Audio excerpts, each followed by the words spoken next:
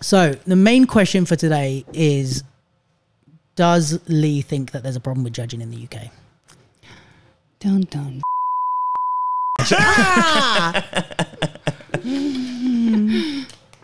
Is that the is that going to be the highlight for the? I might, Yeah. I might bleep that. I think it might be funnier if I bleep what you just said, so that no one knows. But we know. Um, all right, shall we begin? Let's go. Um, Rodecaster. they always make me do the do the intro as part of the thing because I always want to put the the intro at the beginning and then we just start speaking. Yeah. But then Jen always says that we have to like actually live push the button for the intro. So why don't you? What's They the sh- problem? Do it. I don't know. I don't know what the problem is. Wait. What's wait. your problem? My problem is that I don't even understand why we're not pressing the button. All right, let's press it. Come on.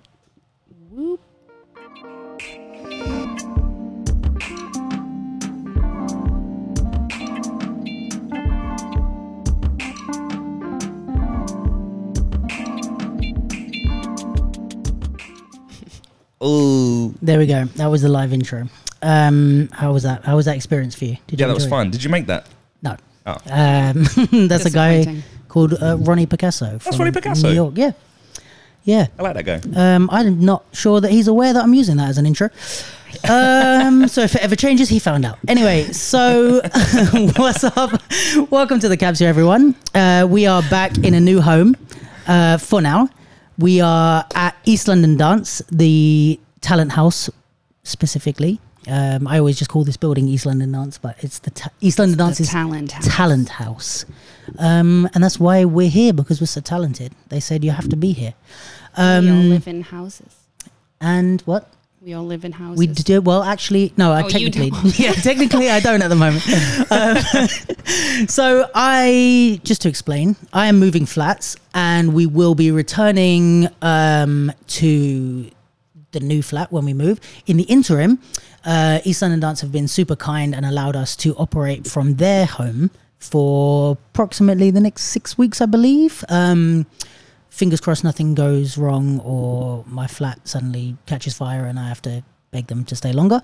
But yeah, so we are here. We are in the talent house in uh, technically Stratford, are we? Where are we? Sugar House Lane. Stratford, yeah. Through Sugar House Island. Um, yeah, beautiful building. If you've been to any of the events here, there was the um, AIM Takeover Week. There was a Rain Crew Takeover Week. What else was here? Daniel Fung and Kaylee Price. Yeah, there's been a few Oh, sick. takeover weeks. Um, yeah, really nice place, lovely building, couple of great studios, and yeah, plenty of shit happening here. Um, also, just to say that if you're new here, there will be swearing, there will be opinions, and um, it's maybe something that you shouldn't listen to if you're too young, but we'll see. Um, there's also a disclaimer on the beginning of every podcast, so please read through that uh, because it's important. Um, so we have a couple of guests in the building today. I d- oh, with Jen not here, I don't even know which button is which. Let's make a guess. Just Meat tally. No, Bye bye, Jenny. no, no. Luke. Yay! Guests in the building. Um, so, hi Lee. Hi. We have Lee here. If you've if you're an avid listener of the capsule, you'd already know Lee. Um, he's been on before. He's also we did uh, an interview. I don't remember which number, but it was a while ago now with the UMA crew. It's called. Um, Lee is one of my closest friends. We've been friends since we were maybe 17, 18, and we just started uh, popping, and we were super excited every time UK Champs came around, and we were like, oh, we might see Solange. Um, this is, yeah, when we met. And uh, if you also are a follower of the capsule, you might know that Lee recently did a um, art in, uh, research project slash piece on dancers. Yeah, what's it called? Oh, how would you call that? I call it a body of work. No, what's Uh, it called? Created some work based around yeah, some dancers in the scene, that's that's it. namely Camille, Breaks, Abe, just Yeah. those three. Um, so yeah, hi Lee, Hi. how's it going? Yeah, it's good. How did everything go with your um with the piece? Yeah, it went really well. So I, I displayed all the work at uh, the Other Art Fair, uh, which is a Saatchi Gallery hosted event, which is No big, big boy deal. stuff. Big boys. And uh, yeah, it went sick. Sold some work. Um, people loved it, like the general public, other artists. and uh, yeah, so it's uh, it went really good, man. Sick, sick, sick. Yeah. And uh, Yep, yep, yep. anything that you'll be doing again soon, by any chance, Well, with no prior knowledge? uh, well, I, yeah, I recently just got accepted into the other art fair again uh, for their October fair. Oh, I'm gonna be hitting that button all day. I'm the producer now. Yeah. So uh, yeah, so but this time I won't be presenting uh, dance work. So I'm taking, I'm doing like dance, another project, dance, another project. So the other project for now is uh, I'm working with some uh, uh, British sprinters. Ooh. Yeah, for so it's all movement. So this this movement project is about Sick. sprinting. So are you gonna you gonna be doing more stuff with dancers? Yeah, yeah. So the next project, I already have an idea in mind of who I want to work with, but I haven't asked them yet. So if people want to be involved in your projects, can they audition? Ooh, well, I had already at the Firehouse event on the weekend. Someone asked me to um, if if basically to work together and collab on art stuff. So like, I'm always always open to ideas. Like, I just want to make as much fine art and art about street dance as possible. So any ideas, throw 'em at me Boom. for sure. Hit him in the DMs. Um, and on my left we have. Please say your name so that I don't butcher it. Now I don't know how to say my name. say it how it's supposed to be said, Maren. and how everyone else says it is. Megan. Give it up for Megan. I, I don't even know. There's so many variations, and I think it's uh, partially my problem because when I first came to the UK, I was like, I'm not gonna stay here. These people don't need to know my name.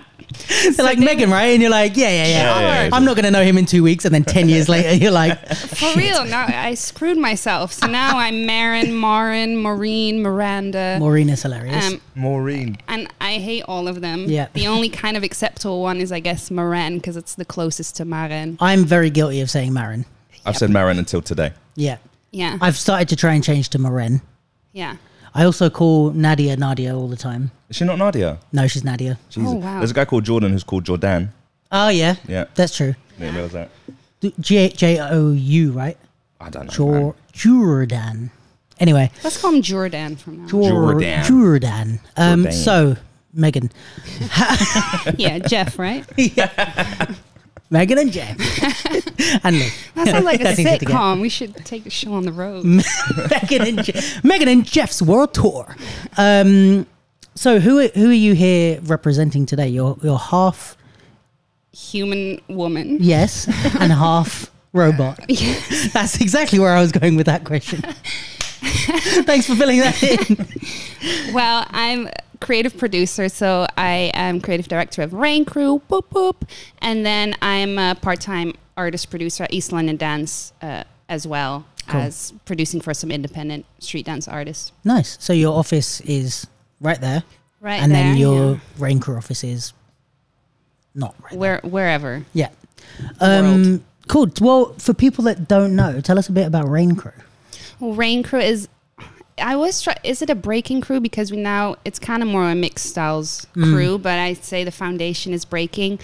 East London crew has been around for about 15 years, and we're also a company, so a non-profit company. We do a lot of outreach work and community work, but then we also battle, have friends, put on jams, and all that good stuff. Yeah, I feel like the the name like Rain Crew, like in people's heads, they just think, oh, it's a bunch of people that like dance together, like Fair. in every other crew. You know, it's just like, oh, they're just a battle crew. But actually, like knowing you guys, you do way more than, and you're actually like an organization that does stuff. And yeah, you know what I mean? Like, but we're a crew first, Sure. which I think is what makes it cool that we're also a company because so many times people put on events for the hip hop dance community, no idea what they're talking Sure. about or what they're doing. So, Rain Crew tries to be those people that can platform and provide opportunities for the community by the community. Yeah, I mean it's hard to be both as as well because like sometimes you get these events or whatever where it's like someone that's really in the culture but with no organizational experience or anything. Yeah. And then the flip where someone's really good at organization and stuff but just has no idea what people actually want from the scene. So Yeah. yeah. Um yeah, shout out to Rain Crew. Always been a fan. Big ups. Uh, except for when Warren wants to argue about biscuits. Um, um yeah, so how are you guys today? What's going on? How's life? Life is good. I'm just today working at East London Dance. So, yeah, Shh, don't tell them. I know. Still They think she's working right now. Yeah, what what am I doing? We're currently working on a research project with Rain Crew, um, Okay. where we're trying to map uh, street dance organizations, but also just crews and independent artists in Kenya. Mm-hmm. Um, and then we're going to try and uh, make some collaborations happen between UK and Kenya. Sick. Why Kenya? Well, so this started from the idea that international collaboration is really hard to do when you're an independent solo artist or crew or don't have this structure behind you. So the people that get these opportunities are like the English National Ballet and organizations like that in other places. So we want to platform and like uh, just shine a light on all those other organizations that are doing actual work for the community and see if those people can connect with the groups in the UK. And we chose Kenya because we want to do it everywhere. And we wanted to start with Africa because we are, you know, in a dance from the African diaspora. And Kenya has a pretty developed art scene. So it's like an easy pilot to do it in Kenya. Um, and then hopefully we can replicate it and make some cool shit happen. That sounds very cool. Kind of like when you say like the exchange thing, is that kind of like what Clara did with the Philippine thing, where like people go over and come back? And, Exactly, Sick. exactly. But opportunities like that to get that is like once every five years. Yeah, mostly. I don't. I don't big- know if I could name on one hand how many times I've heard of that in my life. No, same. Yeah. So and mostly that goes to huge organizations that say they serve the hip hop community but don't. So Mm. Yeah. trying to change that. No, I think that's sick, and I think it's really cool, not only for the people from those countries to come here and gain from us, but also for us to go and see. I mean, this feeds into other conversations, but I think like one of the biggest things, in my opinion, that needs changing or addressing at the moment is the younger generation of dancers traveling. What in the younger generation's defense, the last three years has been really hard because there's been corona and everything and Brexit. Yeah, well, yeah. But like, not only could we not travel during Corona, but also it affected a lot of people's monies and a lot of people's families' money. So it's very hard for young people to just willy nilly fucking travel around the world like we used to. And prices have gone up. I think like when we were traveling a lot for battles, I remember paying like 30 quid for a return flight to Portugal. Yeah. You know what I mean? And then you get like a booking.com cheap thing for like 50. It's like you're doing the entire trip for like, you know, 100 quid or whatever. Um, now I think flights have gone up and blah, blah. So fair play um, that things have changed and, you know, it's not their fault necessarily. They're not just sitting at home being like, I don't want to travel. But I think Cut to every UK dancer saying, I don't want to travel. yeah, yeah. They're like, well, we kind of don't. Um, no, but I think what um, is good about these things is like the more opportunities we can for not only to give people a chance to travel and see other cultures and meet other dancers, but also to like help them to do it through like an organized type of thing, so they're being connected with the right people in those places. Like again, we would go and travel and it's like you go to like a tiny battle you might not meet people you you know you don't know where you're going you go to the wrong city or whatever. So i think like uh yeah these type of things are really good for giving people a chance to to go and, and travel and meet these different dancers and so i think you learn so much from traveling. I mean as a person but also as a dancer and like seeing the way that different people do things in different countries you kind of get a sense of the global dance community which I also think that people, maybe I'm speaking out of pocket here, but people think that they have because they have YouTube and so and Insta. So they think they know what it's like around the world, right? And they think they know what it's like to battle in Paris. They know what it's like to to go to Japan or, or, or what the community is like in those places. But and maybe less so places like like Kenya, which is, is even better that you're doing that. But I think it's like one of those things It's like you don't know what it's like until you're there because also not everything is on YouTube. Like Yeah. you go to a battle like you, battles that we've been to in Paris and stuff. Like when you're at Battle Bad, it's like you got to the semis in Battle Bad, right? And it's like the battles that you did that are online are against A- ATN is online. ATN, Gator, Venom, and Aki. Okay, so you got four battles.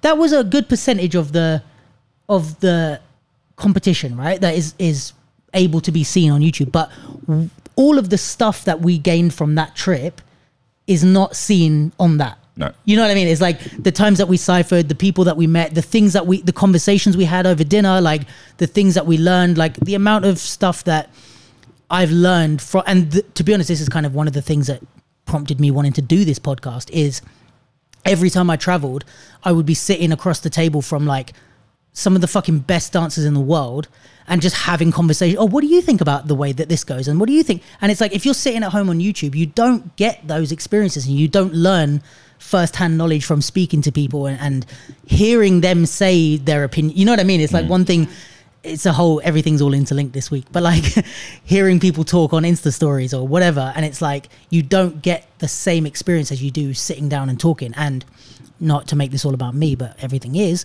but this is like the next best thing to doing that i think is to listen to the podcast and like hear those conversations so it's like What what podcast? Oh, um, this one. Oh. Um, no, but you know what I mean. It's like this, and I think this is why it's so important. And you know, I I would encourage anyone to start a fucking podcast, but also even more than that, to travel and actually talk to people, cipher with people, meet new friends, like understand different cultures, see how they do things, because not everything is one way. If that makes sense. Yeah, and also like seeing battles on video is total different experience than being there. Yeah, yeah, Yeah. yeah, yeah. So and you don't like they, I, I talk about this a lot in the when i teach workshops as well but like that you, a lot i think a lot of the translation of like what makes um a lot of a lot of the things that translate from video you're kind of almost missing the point. Like people will see and i think i see this more in hip hop than anything where people see famous dancers do a move and then the crowd goes mad right? And then they copy that move and expect the crowd to go mad when they do it or they copy a similar type of move or they just do like a big blow uppy move or whatever right? And the thing that you're missing is it's not about that move that made the crowd uh, go mad. It's the building uh, the build up to it. It's the structure. It's the timing. It's the energy that they can project to an, a real life audience and the use of the stage all of which you don't really feel through a, a, a screen you know no matter how good the fucking camera quality is Also, on top of that, sometimes that's in the semi-finals, and they like people have been watching that dancer for the last six hours, and it's like they've they've really built a relationship because in those type of like really intimate environments, you get oddly connected to the people that you're What? watching very Yeah. quickly. bro the one classic example of that i mean it's not an actual example but like when the one thing that will always get a crowd like r- riled up is when you see a dancer that is clearly struggling with their stamina push hard. Like have you ever had that where you get someone that's like just drenched in sweat and red and like breathing heavy and they go and just start going for it? And like everyone goes nuts. Yeah. and it's like you could be watching that on the video and you're not seeing that they're tired and you have you're not seeing that the other battles that they did or that they went to every round they've done has been an extra round and they've had to push themselves harder than everyone else so when you like you say when you feel connected to that person and there's and this is again like not to advertise my workshops uh, see? Everything everything's interlinked. Um but no but like this is something we we worked on is like how to generate empathy as a performer. And i think it's something that's really Ooh. important you know it's like how do i make you and this is not about like let's say like the judging conversation or anything like that. It's just about as a performer like how do you get the audience to feel what you want them to feel? And like oh this person like i don't know whatever they're trying their hardest because you can make it look too easy Mad. do you know what i mean That's so mad because you know it's like that kind of thing. Like in terms of like whether it's battles, whether it's uh, theater, whether it's stadiums or whatever, or like on screen or whatever. Like that's something that I always think about, but I always intuit. And, yeah and you're really good at that you Oh, actually thanks. use you as an example in the workshop but yeah Is it? yeah or like at least like because some people may, might not know you but i say stuff that i've seen you do or that i know that you do uh, in order to explain the point but yeah go on oh wow, that, I'm thanks third wheeling here. That It's was- okay. That was- sorry Lovely little bromance. Megan, please. I'm out. oh brilliant yeah sorry But, yeah, but uh, I hadn't thought about it. I hadn't thought about it in a situation, or even just the context of yeah, like you're right. Like that's such an important part of being in a room with other people. Like you're not battling uh, across from one person. You're battling across from one person with judge or judges in a room full of people that are there to experience something. And yeah, that like that engagement of of empathy from that audience. Yeah, so that's that's pretty cool, man. You Good can work, good workshop. that. All right. Yeah. Yeah, oh, thanks. Go.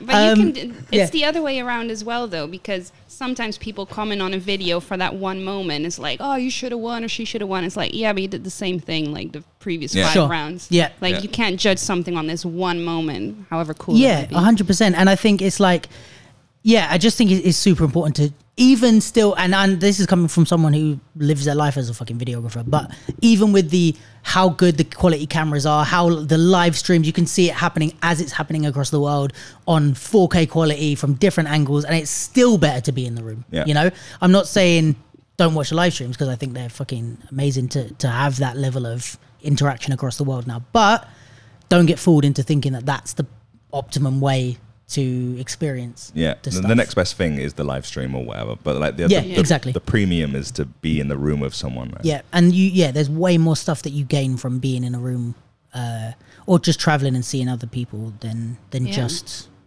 But in order for that to happen, though, people need to start supporting dance and hip hop dance a bit more because right Mm. now there's no f- funding or money. Like Yeah. everything's closing. You know, youth centers close, funding cuts, Brexit. Like it's very hard to travel now. So even though I agree, I try and travel. We also need to get some more support. Yeah, and I think it's hard because it's it- from my understanding, it's kind of like a vicious circle where it's like until we show people that there's something to support, mm. they won't support it. But then we can't show them that there's something to support without their support. Because it's like, you know, say with ballet or whatever, it's like there's 500 odd years of of uh, evidence that people will turn out for this. But there is evidence, like Sure. they're using hip hop dance in everything, like Sure. Yeah, man. commercial, but they're just taking and not giving anything back. Sure. TikTok is huge because of because of Yeah. a lot of the stuff from either African dancing or street dancing, right? Like it's really that like, a lot of the dancers that I mean, dancers on TikTok are, are kind of running the platform at the Yeah. moment, and a lot of that stuff is because of what we as a community or communities build for that stuff. And I was actually going to say, like, as a point, like, so I think the Olympics is, is going to do that Yeah, in terms agreed. of uh, creating uh, uh, um, or giving governments a reason to fund certain things. But I think so that actually inspired the whole art thing that I'm doing with Okay. dance. Yeah, is that I realize that there is a, a whole scene that I have access to in terms of the fine art world that have loads of money specifically for art forms and for, for pumping money into different things that, that they're not aware of or street or urban, whatever they like to call it. And I can just take that and put that back into the scene in cer- certain ways. You know, either whether it's right now it's it's asking favors, but within a year it's going to be hiring dancers Yeah. Mhm. for a day in a studio to do certain things, or or creating an event or workshops or whatever, or whatever it is for to give back to street dance in whatever way. But there are however many people in the dance scene that have skills in talking, producing, videography, art, music, whatever that can do certain things that we're kind of screaming out for that we need. So I think there's a bunch of stuff that people can do to contribute Yeah. to out for to get people outside either interested in or uh, investing in. Yeah. Yeah. Yeah, yeah I'm just like it has to come from ourselves, from our own community, because Yeah. outside right now, no one is really doing that. Oh, that's Just right, no. and like like no one's really doing that, and now you're relying on people in the community having other skills, mm. whereas you don't ask that in many other industries. Like, oh, you have to be a dancer and a producer, and also you have to have a, a, this skill in marketing and all of that. So it I just think we need to have more support from outside as well, but we can do as much as we can, like within our little little scene with people like Lee. Yeah, yeah, and I think it also like it made me think what you were saying, where I think you can almost, I don't know, like say with if you want people to like let's say invest in the culture, it's like it's hard to say what that is, but if you create certain projects or things, people understand that more. So rather than oh you need to invest in street dancers. You need to invest in this art project where i'm painting. Like okay that's something that we recognize. We'll give you money for that. You know what i mean? Or like uh, uh, we've put on that's why i guess like hip-hop theater and stuff is kind of working a bit where it's like oh we recognize this format. It's a theater show.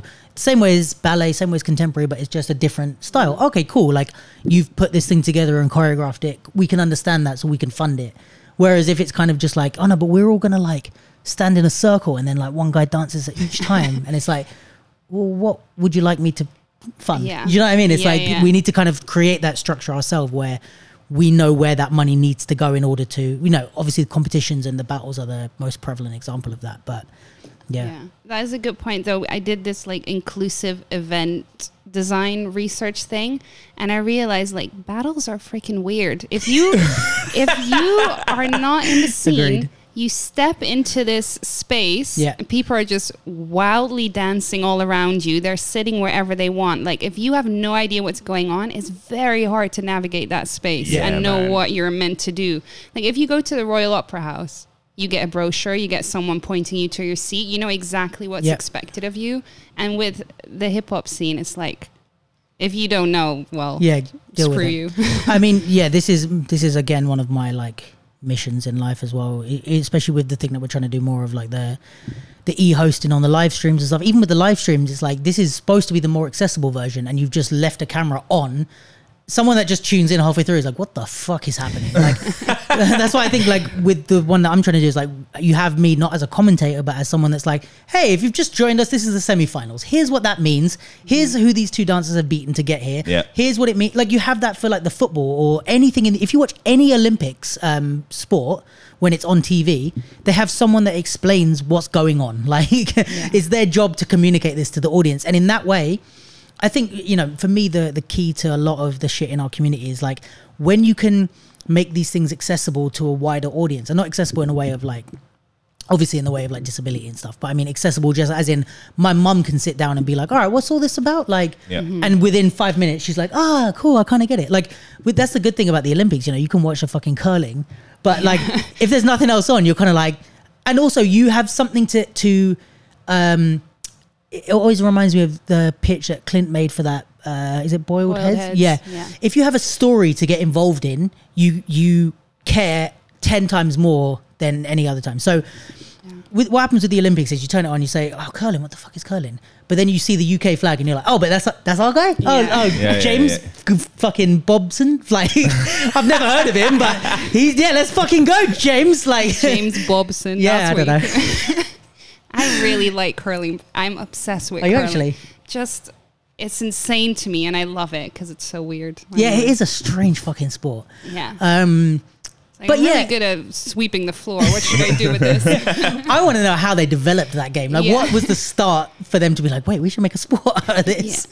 you know what's also weird though Um, yeah. about battles and like for example boiled heads drew a comparison between boxing Yes. and dancing Yeah. like in What's boiled boxes Do you know Sorry. about? Yeah, sorry. Go it was like a rain crew event where two people selected would go head to head for nine rounds and they would have like a whole like video this is who this person is this who is uh, who this person is they come in like a boxer you know in their robes music playing like making a bit more like of an a big event out deal of one battle. about these people so we've done that a couple times in, and both were equal standing. yeah Well, that sounds more like.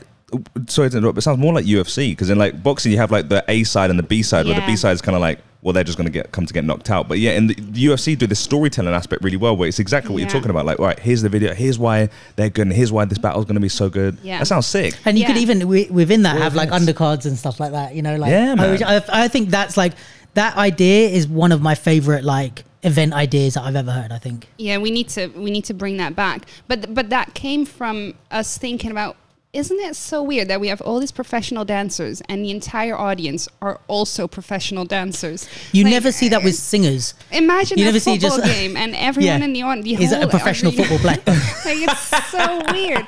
Why can't dance events like attract more people than just because when yeah it's and we have this excuse that like this this excuse of like oh because people don't understand us or don't get it, which I think is such a fucking cop out with anything where it's like a hip hop theater show does badly and it's like oh but people don't get the style it's like you're trying to sell this thing to people like Mm-hmm. if you're in your bedroom if me and Leah are in my bedroom ciphering I don't care if in my bedroom ciphering why, why I don't have that much room We don't cipher in his bedroom. we do other stuff oh every Friday night? play PlayStation. um, but like you know, if we're just in my house, like I have no need to be understood. I'm just doing what I want to do. Like we're just having fun.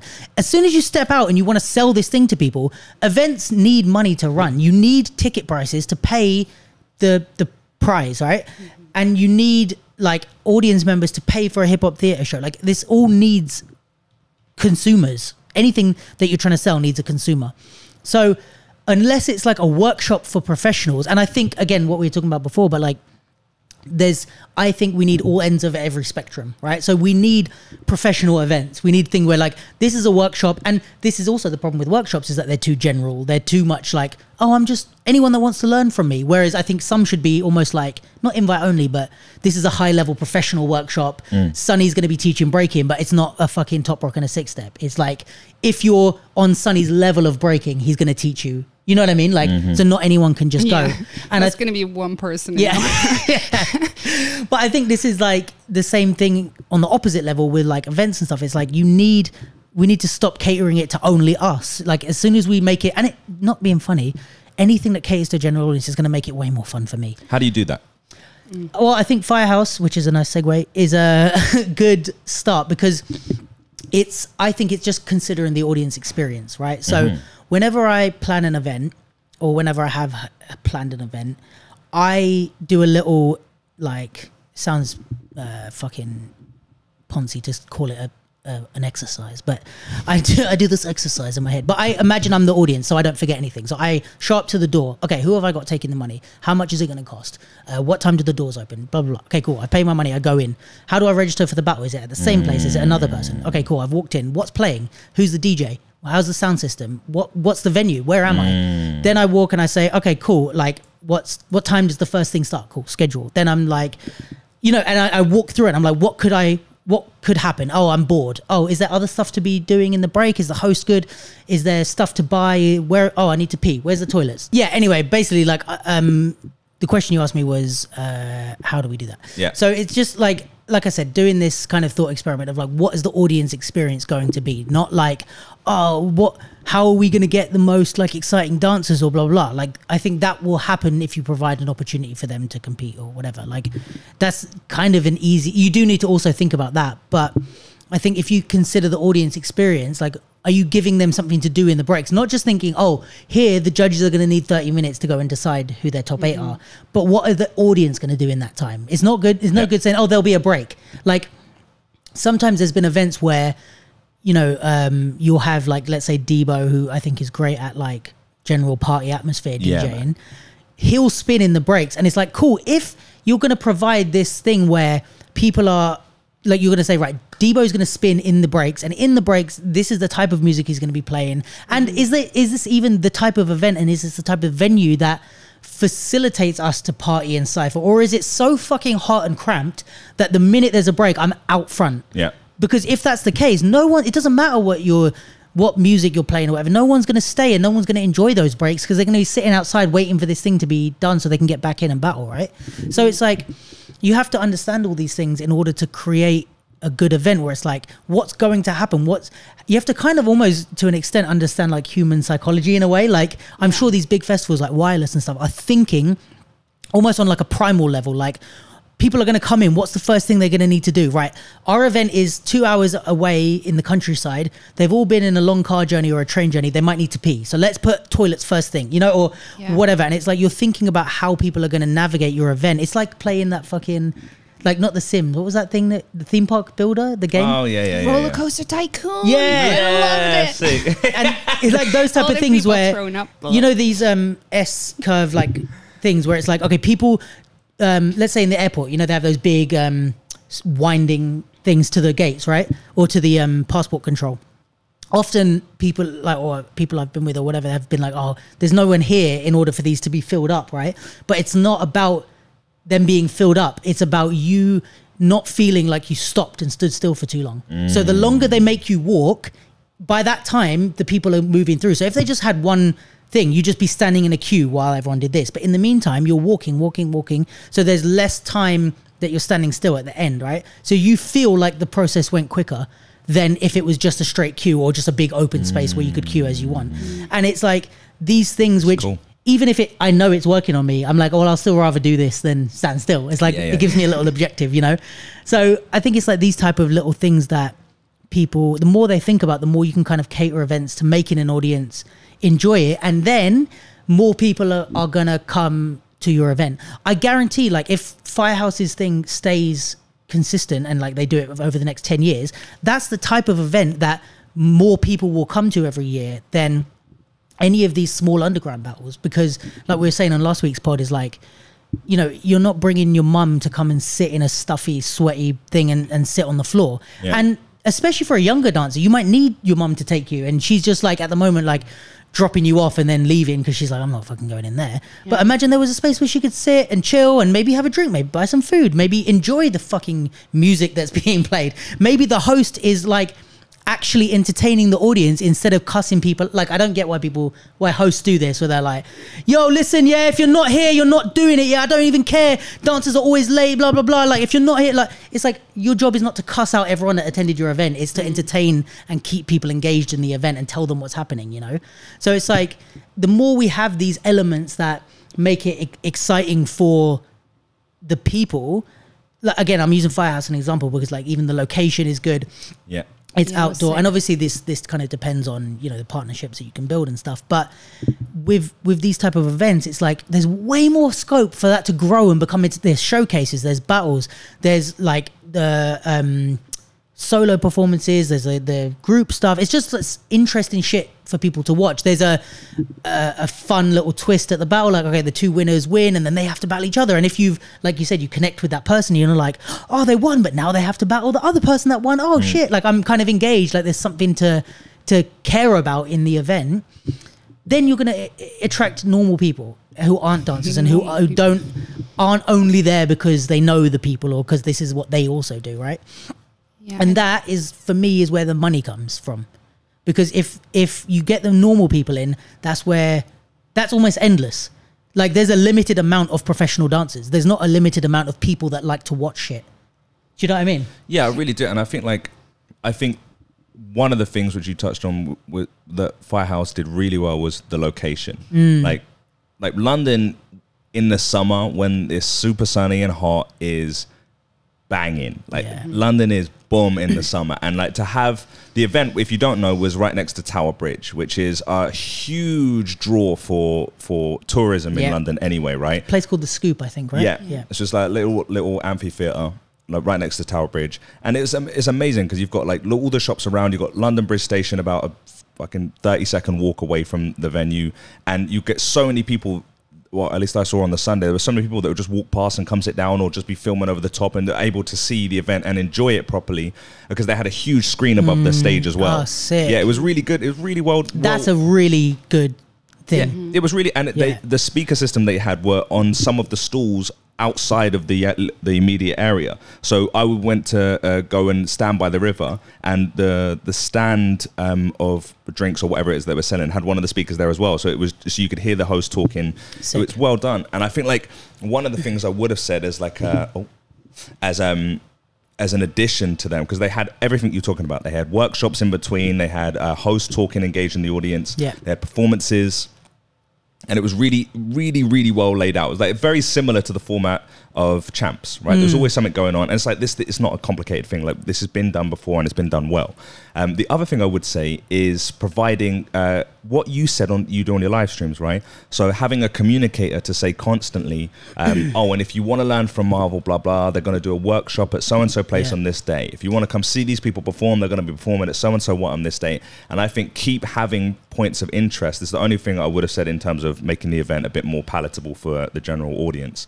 Is keep having things that you can you can say to the audience over and over again where they can say okay cool well where can i follow up on this? Like mm. and the only reason i say that is because when i was at the art fair the big thing was well where are we going to see you again? Where are you making mm. more work? Do you have and the thing of social media cool and it's like it's very easy with art because they just want to look at it but if you want people that want to get involved in more street dance things or whatever the idea is to i think is that's use that as a, an opportunity to um, communicate and advertise and engage and draw more people to other places. So, like- so the end result isn't the, the day, but the, the end result is to keep building on these for, for future events. Yeah, yeah, definitely. And also to care more about the thing itself. So maybe even like an Mm. explanation of like what popping is or what hip hop is and like who why the judges are choosing who they're choosing like a little Yeah, like yeah, yeah, yeah. maybe it's even like to give the judge the mic after each round and be like oh can you talk us through what you just thought or these type of things because it's like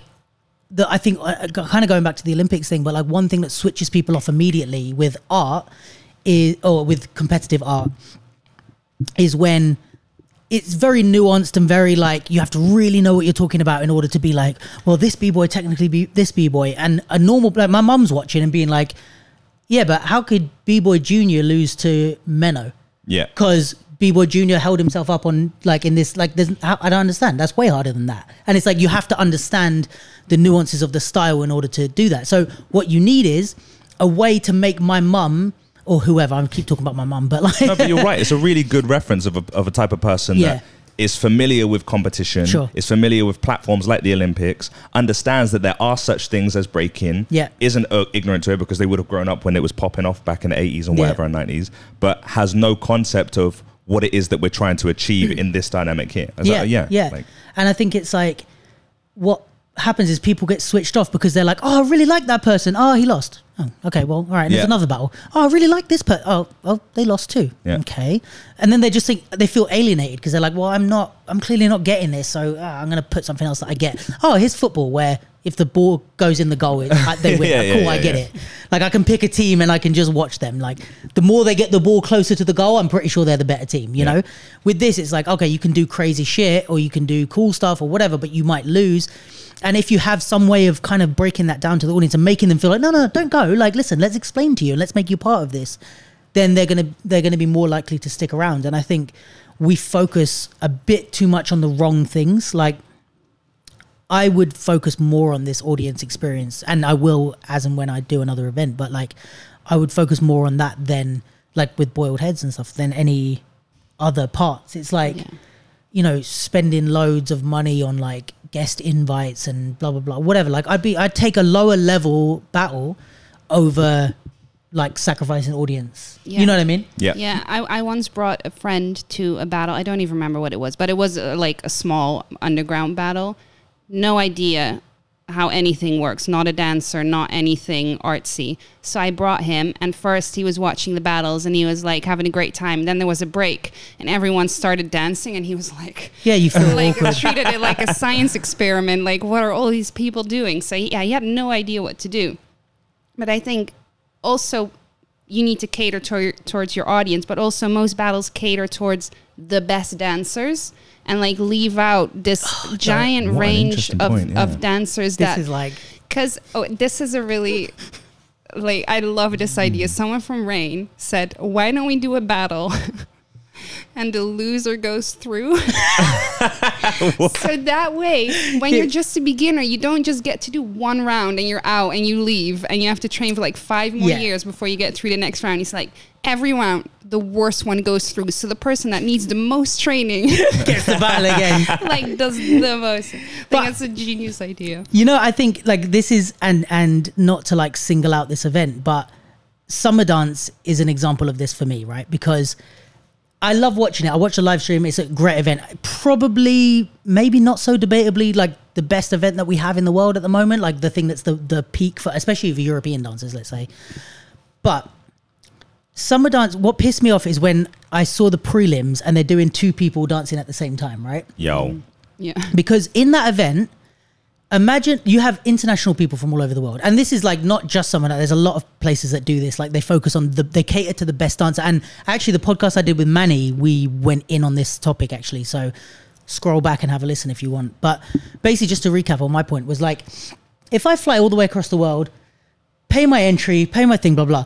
This event is being paid for by the audience and the people that enter the prelims. Yeah. You have a very minimal amount of top level dancers, but yet they're the ones that get multiple rounds. They're the ones that get to go get called back and they get to do this, they get to speak on the mic, they get to go again. And I get it that also without the top level dancers it's less exciting and fun. But if I've paid all this money to get in and the 500 people that are entering hip hop are paying for the fucking prize money, don't make me dance at the same time as fucking Alex the Cage and no one's watching me because Yeah. they're all cheering him and I'm just there doing my best. It's like, I get it that I don't matter as much in air quotes because I'm not the one that's going to progress through the but I'm not going to progress through the competition as a as someone that's just going to enter prelims and not get through. But uh, as a whole, these are the people that you want and you need to come back every year because the top level dancers, you can, if those people don't come, there'll be other good level dancers that you can invite. But if en masse these these prelim dancers don't show up for your event, like you ain't paying for the judges. or the the the venue or whatever without them. So I think this thing of just dismissing the prelims as a as a all right, well, let's just get this shit over with. I fucking hate prelims. I don't like watching them. I don't like doing them. I, I they're boring as shit. But that's the thing that you need to spend time with to make those people feel included. And this is why I liked, let's say, like Unleash the Groove, where I, I didn't like the Cypher prelims at all. This is a third podcast in a row I've said that, but I liked that they did top thirty-two in every style. Whoever run that event just like it's like, come on. No, no, I did say good things about it. It was a good event, besides the Cypher prelims. That's four times. Um, Wait, what did you not like? the Cypher prelims. Um, they did top 32. So more people get to feel included, even if some of those people wouldn't have made the top eight, and they definitely shouldn't have made the top eight, but they get to battle a few times. They get to feel like they're part of the thing, and and this is something they taught us when we I did events in uni. Is like with sports, we had a whole module on sports events, and they said one of the things is the more people that feel included in your event, the more they're going to come back and care about your event and pay money for your event. That's why stuff like UDO has like all the different categories, trophies up to how long, and then medals all the way down to like fucking 15th place or whatever, because everyone is feeling like, oh, I, I achieved something at UDO this weekend. Yeah. Whereas in battles, eight people feel like they achieved something. And even then, barely. Like you kind of feel like you achieved something, but unless you win, you're the only person getting a prize money is the one that that wins. Yep. Everyone else is like, oh, well, why did I waste my time coming here? You kind of feel like. So I think it's like this thing of like exactly what you said is like almost that the and you know of course you're not inviting like top level judges and and athletes to judge and battle in your event without taking care of them. You need a green room. You need like ca- uh, water and all these things like good snacks for the judges. Don't fucking give us crisps.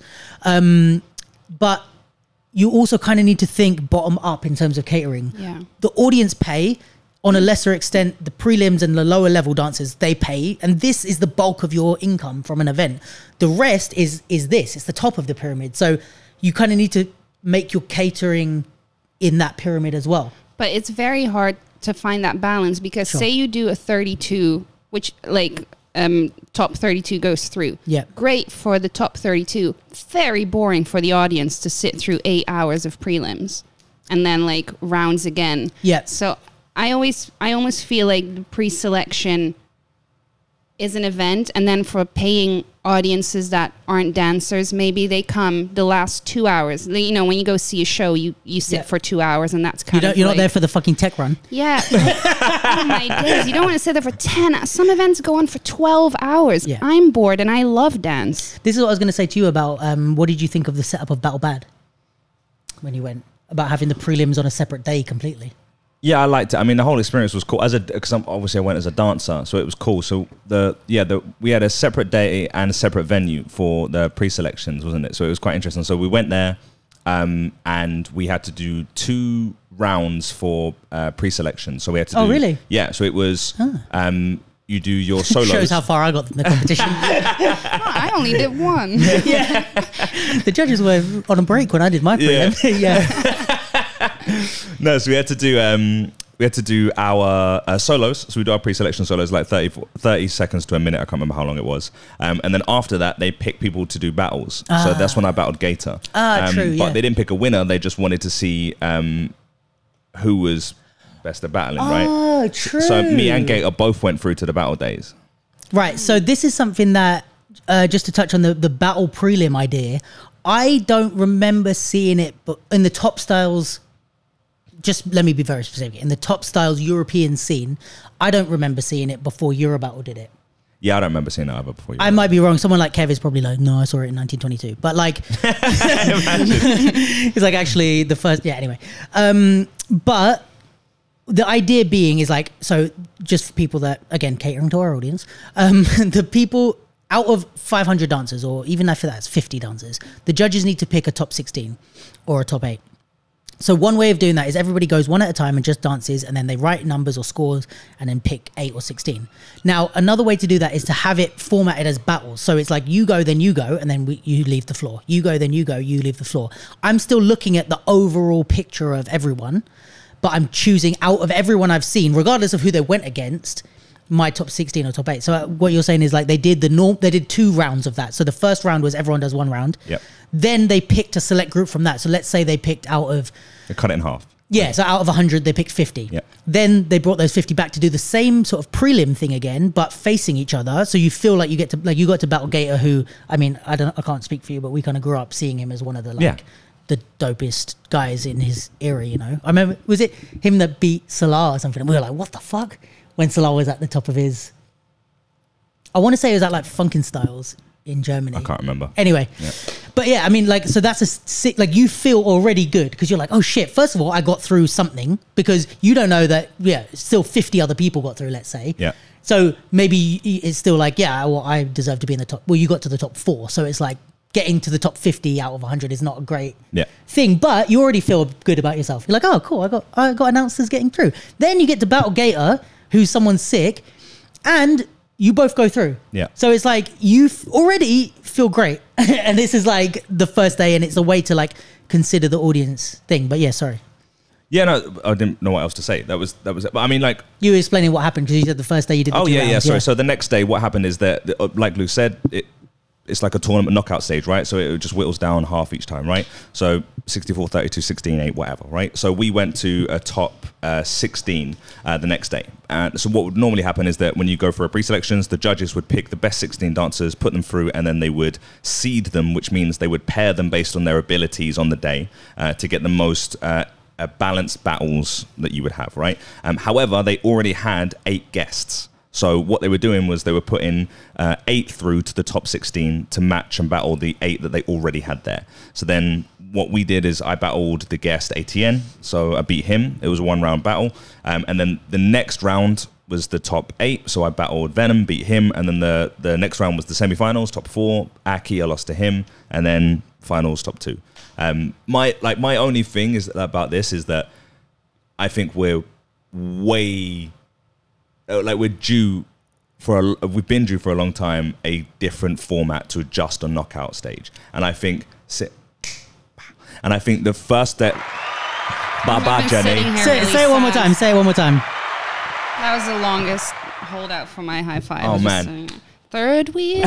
Say it one more time. Say it one more time. I think we've been due for a long time, uh, or, or overdue. Uh, something that is way different than a knockout stage. Give it up, ladies and gentlemen, for that right there. It's a canny. If yeah, And the please, first can- time I please realized expand that on was when I when I saw Undisputed One in in London, and what they did is they had a uh, after. Uh, Having a ranking, just like Kingdoms League are doing with popping at the moment and hip hop. Um, so breaking, they did a ranking. So what they do is that at events each year for the year, they would have uh, a bunch of organizers who ran different events around the world to agree that all of their events uh, contribute towards a ranking system of breakers, right? So they said, okay, cool. So if you win a certain event, um, you get a certain amount of points, and if you get to a certain stage in that event, semifinals, uh, quarters, whatever, you get a certain amount of points, and they reward consistency and performance and results in in, the, in those events, right? So you go to an event uh, and you get quarterfinals consistently, you will have a higher ranking than someone who gets to the finals or wins one event, Yeah. right? Because we reward consistency in that aspect. So after at the end of the year, they tally up all the points, and then they have an event called what's undisputed. Undisputed has the top eight or had the top eight. I don't know at the moment uh, breakers from around the world that were on this ranking system. And then what they would do is they would first have a group stage of two groups of four, and they would have everyone in that group battle each other and then get the most points. And the top two of each group would then go back. Uh, Come out of those group stages, then to have a knockout. Is that stage. similar to like the World Cup and stuff? Yeah, exactly. Okay, cool. It's, it's similar to any any kind of um, Yeah. any competition you would have in sports, right? Where, where like you would have these things of knockout stages, like Yeah. Where so like in football they do the same the same thing, right? Whatever. But you first need a ranking system, which is where I hope I don't want to just assume. I hope this is what Kingdoms League are going to do. So they create Yeah. a ranking system. I know they're taking like a top eight of the ranking to a battle at the end of the year. I don't know the format of that battle. amazing. If they if like I, and then if they're taking the top eight, I think if they were to do a group stage, because then not only is the, the this rewarding thing from uh, dancers. Um, where they get to battle more for being there, but then like which is what they did at the semi-finals, which I thought was brilliant. As a like brilliant concept. So the semi-finals at the event, they so um, they had knockout stages all the way, like you would normally. But at the semi-finals, there was one judge throughout the whole way, which was Paris in the the pop in and Kashmir in the hip hop. So what they had was four dancers uh, got to the quarterfinals, and then so two dancers at a time would battle each other, and the other two that weren't battling would join the judge and then vote for their winner. And what would happen was um, there'd be a person on the side, Brooke, who would tally up the votes Ah, as yeah. points for each dancer. And then that way, the the top two would then battle each other and win, and uh, whoever won that would battle the uh, winner of the hip hop or the pop, and uh, respectively. And that kind of thing is way more. Um, way more interesting as from a dancer's perspective because you get more out of your your time for being there and it's way more interesting from an audience perspective because there's a story to follow Yep. oh that person has so and so points and i think it was a quite a raw version at, at firehouse because there are so many things you can do to tweak and, and adjust it Yeah. but the big leap in having something more interesting was already accomplished Yeah. by doing that i think Would you do something like that with boiled heads, where it's like a league and it counts towards stuff? And because is that kind of the deal with UFC or boxing? Like, yeah they have a ranking system so there when they battle, it goes. Yeah. Would you? At the moment, Boiled Heads is that one battle, and we see it's about stamina. It's about who has the you most still have it judged and everything. Yeah, Yeah. there's yeah. So I don't know. It could be the only thing with like I really like the idea of ranking and there being consistency, but it is hard for harder for some people than other people to go to events Yeah. consistently. Some people Yes. have to work, some people don't have the money, some people have to take care of their family. Yes. And if with this ranking system, they're gonna be pushed down the list. And yes that feels a bit exclusive. Which I think would would, be a, a problem if it was only that. But if this is one avenue, I don't. It's like, but that's like kind of sports. It's like you know, if you don't have time to join a Sunday league football team, you're not going to be able to play Sunday league Yeah. football. Like, yeah, so it so it's kind of how like that. how many events Yeah. are part of this like Kings League or ranking league. I don't think every event should be only in the league. I Definitely agree. not. 100%. There's like more out there than just that league. And then also, you know, you need we, we spoke about this before, like how do you judge this? If this is one league, then certainly in that one league there's a certain set of rules to Judging. follow. Judging. Oh, could just so just before we carry on the, the judging part, I thought that Abe had a really good point on, Yeah. on how you solve this. Is that you reward winning more. Mm-hmm. So at the moment, as far as I'm aware, in Kingdoms League, uh, you get ten for winning, Think eight so. for runners up, or, or si- but it goes in like a two point Yeah, uh, deviation yeah. each time, right? Um, I think you should reward. There should be if you're doing two each time, winning should be plus five. Okay. I like because I think there's a like I said, it's super easy to reward consistency if someone's available to go to Mm. each event, right? Which is where, where like, I think you kind of run into a very similar problem that we complain about all the time in terms of class system. If there's someone can afford to do more things, Yeah. then they're Mm. is a good rewarded more for just being able to have it rather than someone who who has the ability to do those things So, or train those because it's 10 points for a win, right? I, I think so. I, I don't And actually know. do you know But how many eight for a runner up so that how many is it for like just entering the prelims? One or two? Oh, do you, I thought it was you have to get points to pass prelims. I didn't. No, I think you get a point for because it's like you're in the league. Is it. Yeah, so I think you get a point for for entering. So someone so so depending This on how many problem. events there are, you could win an event or, or become runner-up. just being there. But but If you go for Yes. 10, but you could be someone who goes to all the events and doesn't get through the prelims and be, have a, an equal or higher or similar ranking. That yeah, is or even just get through to top eight each time. So I, I think just for participating. t- top eight you get two point, two points.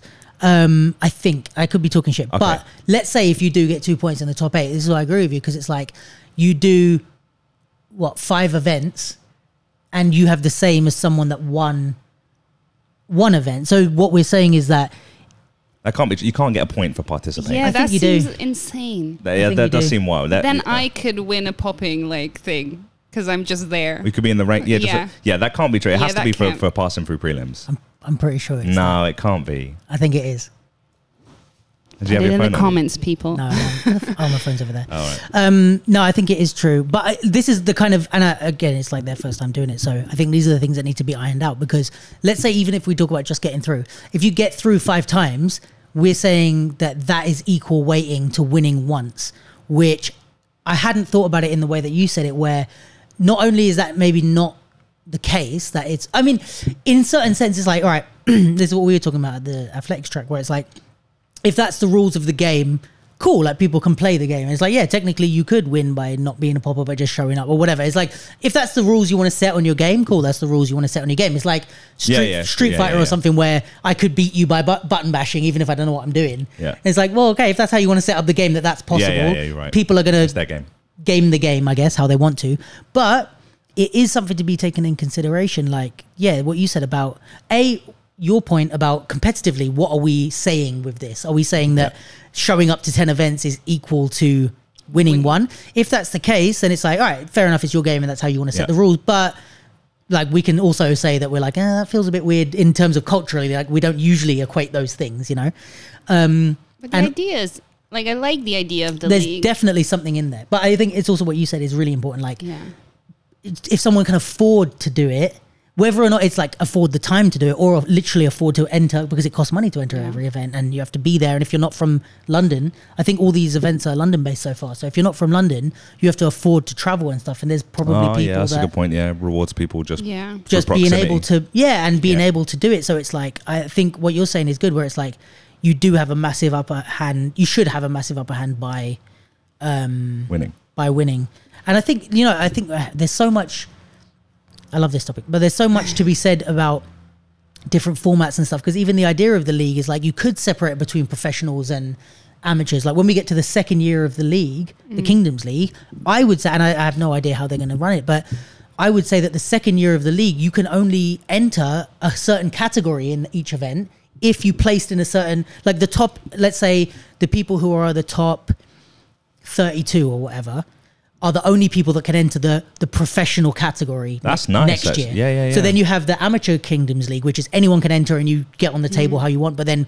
you the professional category is the year before it's the 32, and if they don't show up and you only have eight people or seven people or six people, cool, just do the top six. That's fun. Do you know what I That's mean? really cool. Like, then it gives them a person opportunity. Like, so then you can. That's really cool because then you can have the thing. So basically, we, we were mentioning earlier about the idea of like different judging, which I assume is where we're going in Yeah. this conversation, right? But yeah, that really covers the point of if you want, if you're someone, let's say, especially with something like breaking, for example, if you're some 40 year old guy who did it quite well, um, but doesn't want to be competing with 19 year olds who fly, yeah. right? And they're professional b boys who work for Nike, Adidas, Red Bull, Yeah. whoever. But you want to do something casually, but still want to do something that's like a bit like I do five aside on Sundays. Exactly. I still want to play football, but I don't want to play against someone who's gonna just tump me up like for Yeah, you're not hour. have you don't have fun playing football by going and trying out for Arsenal. like and not getting in. Do you know what I mean? Like Yeah, that's yeah. not fun. Like so, and you you wouldn't do that because you're like, I want to have fun with football. So you find the five aside or the three aside or whatever. That's cool, man. Yeah, so, So you a- need that- There's a lot of room for growth with this. Yeah, Well, I don't want to be Can I say one thing Yeah, though? You know how say Sunni, more than one thing. say No. eight. Oh shit! I will one. be saying one get thing one and then leaving. No, but you know how Sunni said on your podcast, like it's so cool that we're breaking. You get the absolute best of the best battle. I think he said the opposite. Oh, he said it it's wasn't cool. cool. Yeah. Well, f- but for like Lil John from Sure. Ilford, that's great. Sure. Maybe not for Sunni, but Yeah, I yeah, think yeah. it's kind of a nice part of hip hop dance Sure. that we do have that Mix. like yeah mix of you you get to learn from the people you admire. Which I think is valid in the non-competitive league events mm. because it's like, all right, Sure, yeah. you know these kind of cultural events if we show it's like oh this is a fun event like we were saying about the judging isn't taken too seriously let's say or the event isn't even catered for the audience or whatever. It's just a open like it's just like our, our normal jams that we have now. But it's like yeah sunni's gonna enter and my fucking Yeah. mum's gonna enter and then i'm gonna enter and we're all just gonna battle each other. Like i'm gonna get my head kicked in by sunni then i'm gonna battle some amateur and it's all like it's all just fun. But then, okay, cool. But then today, this is the Kingdoms League, or it's the whatever league. It's undisputed. So this is where we take it seriously, and we don't need, you know, if if you're Sunni or Karam and you make the choice to enter a, a fun community jam. But would they then though? Well, this is the thing because They have the option to they have the option to, but also like sparring. Mm. yeah. And if you're a Red Bull sponsored athlete that's maybe going to the Olympics and you're Nike spon it's like we're talking on way bigger scales than than like the fun aspect. Yeah. And it's like, what if Sunni enters one of these fun jams and God forbid touch wood, there's no word. But um if he enters this and goes against some amateur who's never done, and then as Sunni's about to, because they don't recognize good breaking, as he's about to go into air flares, they jump in and try. Like, you know, did you see the battle at Outbreak where the guy jumped over Sunni? No, So Oh, I feel like I've seen that. this Well, week, also just shout out to everyone at Outbreak. Like there was a lot of Yeah. UK, Ireland, and um, and other people like who were who were there, like Stephanie Vanessa, who represented other places. But it looked like everyone killed it at Outbreak, so shout out to them. But Sunni battled a guy called Dem- Deman Demani. I, I don't actually know him too tight, but they battled and it was a sick I'll show you the round, but it was fucking sick. And like Sunni was doing stuff. The guy thought he finished his round and came in and started doing some flips. And Sunni kind of told him, No, I'm not done. Did something. You know that thing he does where he And the head. and his, his head slides yeah, yeah, around. sick. He did that and ended up right by his feet. And as he stopped it, the guy did like a side summy over him and got mm. into his round. oh, It I was- did see that. Sorry. yeah. Yeah, yeah, yeah, yeah. It was fire. But if that was an amateur who didn't understand that move that Sunni was doing, his capacity, Sunni's capacity, what like, and he he did that and then injured Sunni. Now we're fucked because this is a guy who's making his living off breaking, is sponsored by big companies, is uh, an Olympic hopeful. And if you crack Sunni's head off the floor because you don't know what you're doing, now we're like, all right, w- now the conversation will come up. Why was this guy allowed to compete in the same Yeah, realm yeah, as yeah. And I think it's not the only aspect, but I think that's one reason why. it- for me, it balances out. It's like, all right, if if Sunni wants to choo- choose to do that, that's up to him. But like, let's say in the NFL, right? Um, on the off season, so when when NFL players aren't in training, either the preseason where they're training for the the season, or they're in the season. I've said season so many times. Basically, when they're when they're there's nothing happening, right? And it's their break, let's say. They are not legally allowed to train in a non uh, licensed facility. Oh, sick. So if you play for the Dallas Cowboys, you're not allowed to go and work out in a gym, in just some gym. You're not allowed to go play American football on some field. You're, it's like you're contractually not allowed because if you get injured playing with some losers or you're in a gym that isn't like maintained to a high thing and you drop a weight on your ankle, our team loses millions. So, and I think this is where, you know, sports obviously has an upper hand to stuff like what we do, but this is kind of my Yeah. thing with that. I hear that. That's a good point. But I, I, I, I kind of like it. Like, I hope. I'm just worried that if we're going through just a system of that and everything is that, Yeah. we're gonna miss out on that like cross pollination. Because Yes, even sure. the best best dancer can learn something from a six year old kid who's doing something. yeah. You know, you're like, oh, that's cool. And um, and it's inspiring. Like some of my, I've been super like lucky to get my head kicked in by some of my favorite dancers over the years. you know, and it's like to be able to be like, oh, I'm about to get smoked, but still get to stand opposite someone who I watch on YouTube all the time and be like, all right, well, let me try. Yeah. Like, is is pretty, yeah, it is nice as well. Yeah, I think, but I, I like the league idea, but there's yeah a little bit of ironing out because I do Sure. think there's also a bit of like you're saying consistency gets re- rewarded in these leagues, but it already gets rewarded because say you're at Summer Dance, you have hundred poppers entering the prelim. The people that are going through are the people that you've seen because it takes understanding of someone's movement or like language to really appreciate it. Hmm. Like a good example is Chili from Rain Crew. He's one of my favorite dancers. He's super weird and I freaking love him. Yeah, But in the beginning, when he started, everyone was like, What is this guy doing? You know, like, what a weirdo. It took years for people to understand same with people what like he's Salah saying. or- yeah. so it takes so long before people get some validation and that influences judges' decisions. Like, what have they done before? What have they. Yeah, but I think this way it's like a it's a more standardized thing because there again this is leading into the, the judging conversation but like there's a lot of judges that will be like I shouldn't base it on anything like that. I'm like, you know, and they try and, you know, this idea of being unbiased and they try and only look at it like, what do I see in front of me? What is this, blah, blah. And it's like, when in that way we're rewarding consistency in giving people the benefit of the doubt when they do weird shit, right? Which is an interesting conversation in itself. I think people should always give people benefit, like maybe not in the competitive side, but in terms of art in general, it's like the difference between someone like doing so like there's plenty of shit artists probably in the art scene or people that can't draw. But if you take that person and tell everyone they're a world famous artist, people go, "Oh, that is really good though." It's like it's just because the perception that you have of them. Yeah, look, people like don't get me wrong, man. I fucking love weirdos. yeah. of course, right? Like they're they're they create magic sometimes, right? But just because it's weird or different doesn't mean that it holds the same value as something else, right?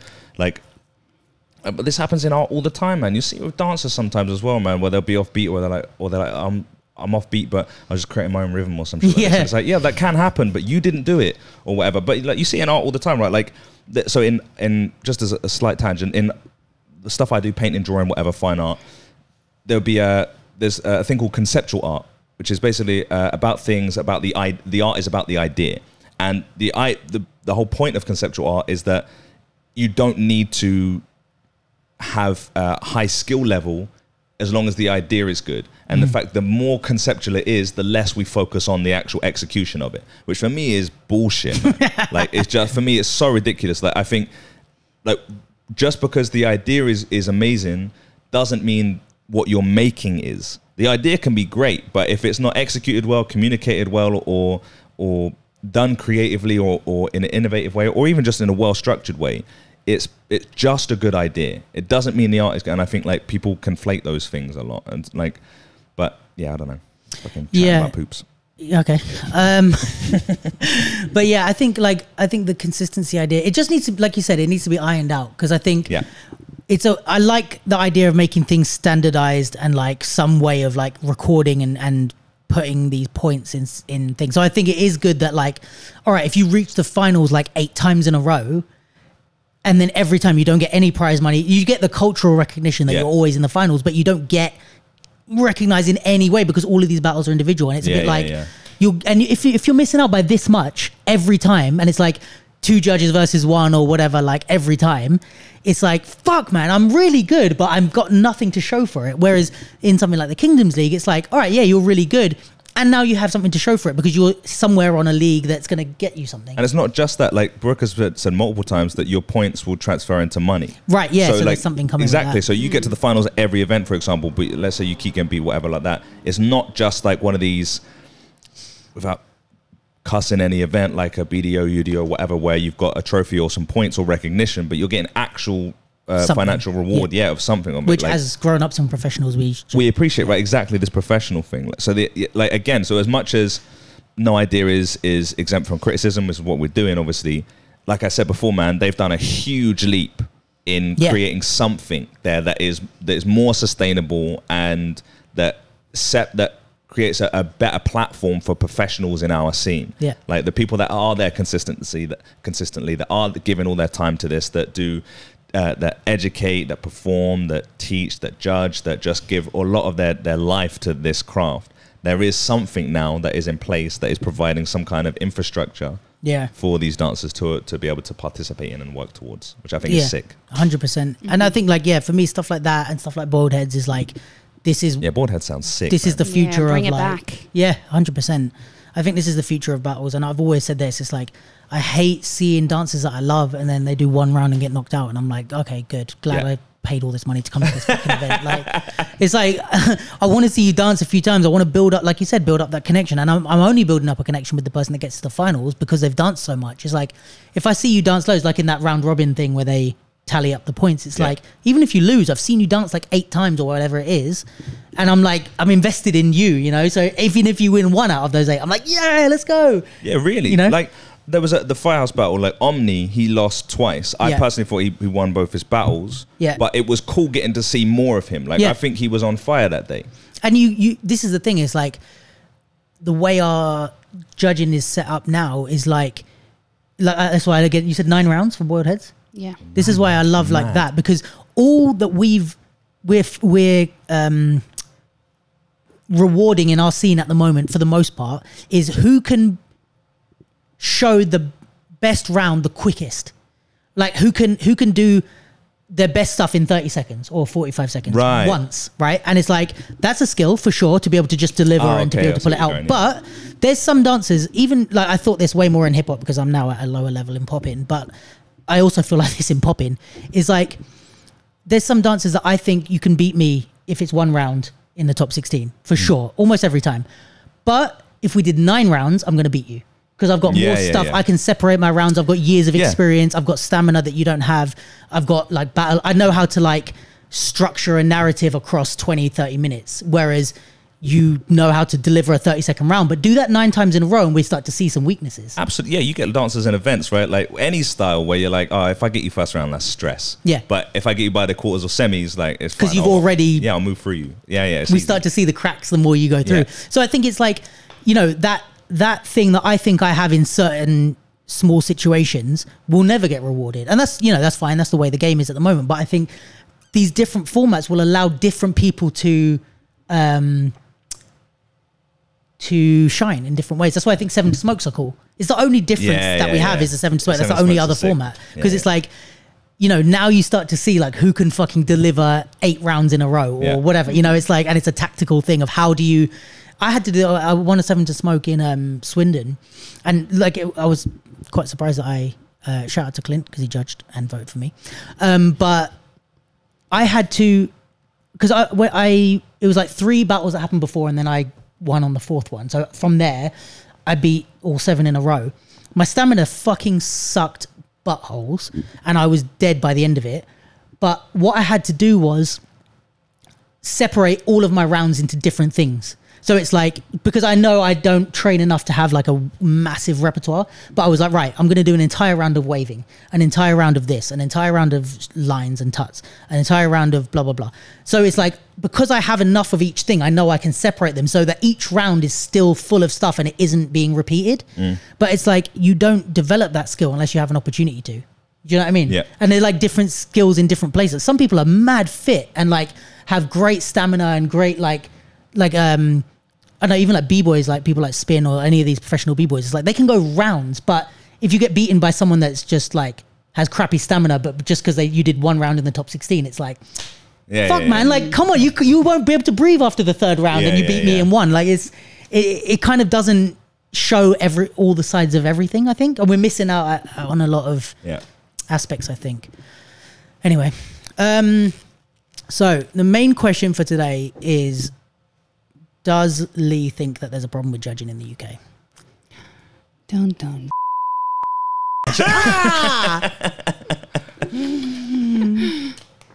Is that the is that going to be the highlight for the? I might, Yeah. I might bleep that. I think it might be funnier if I bleep what you just said so that no one knows. But we know. Um, Oh, that's hilarious! Good argument. Thanks. that that's all true. I want to And say. That's a wrap for today. and that's the bottom line.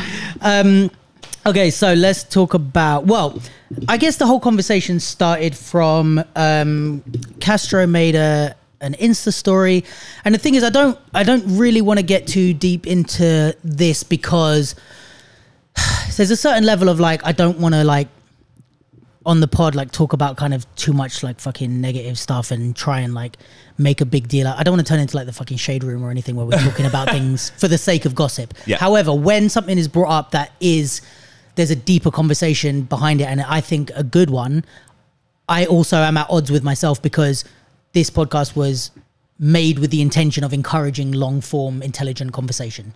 So in that vein, I guess is the right word, um, I do want to talk about this. So he made a status that basically said the UK judging is atrocious and we do not, we being UK people, uh, do not possess the skills to. Should I read it out? All right. So which one is it? That one. This one. Yeah. All right. So Castro. Who is Castro, by the way?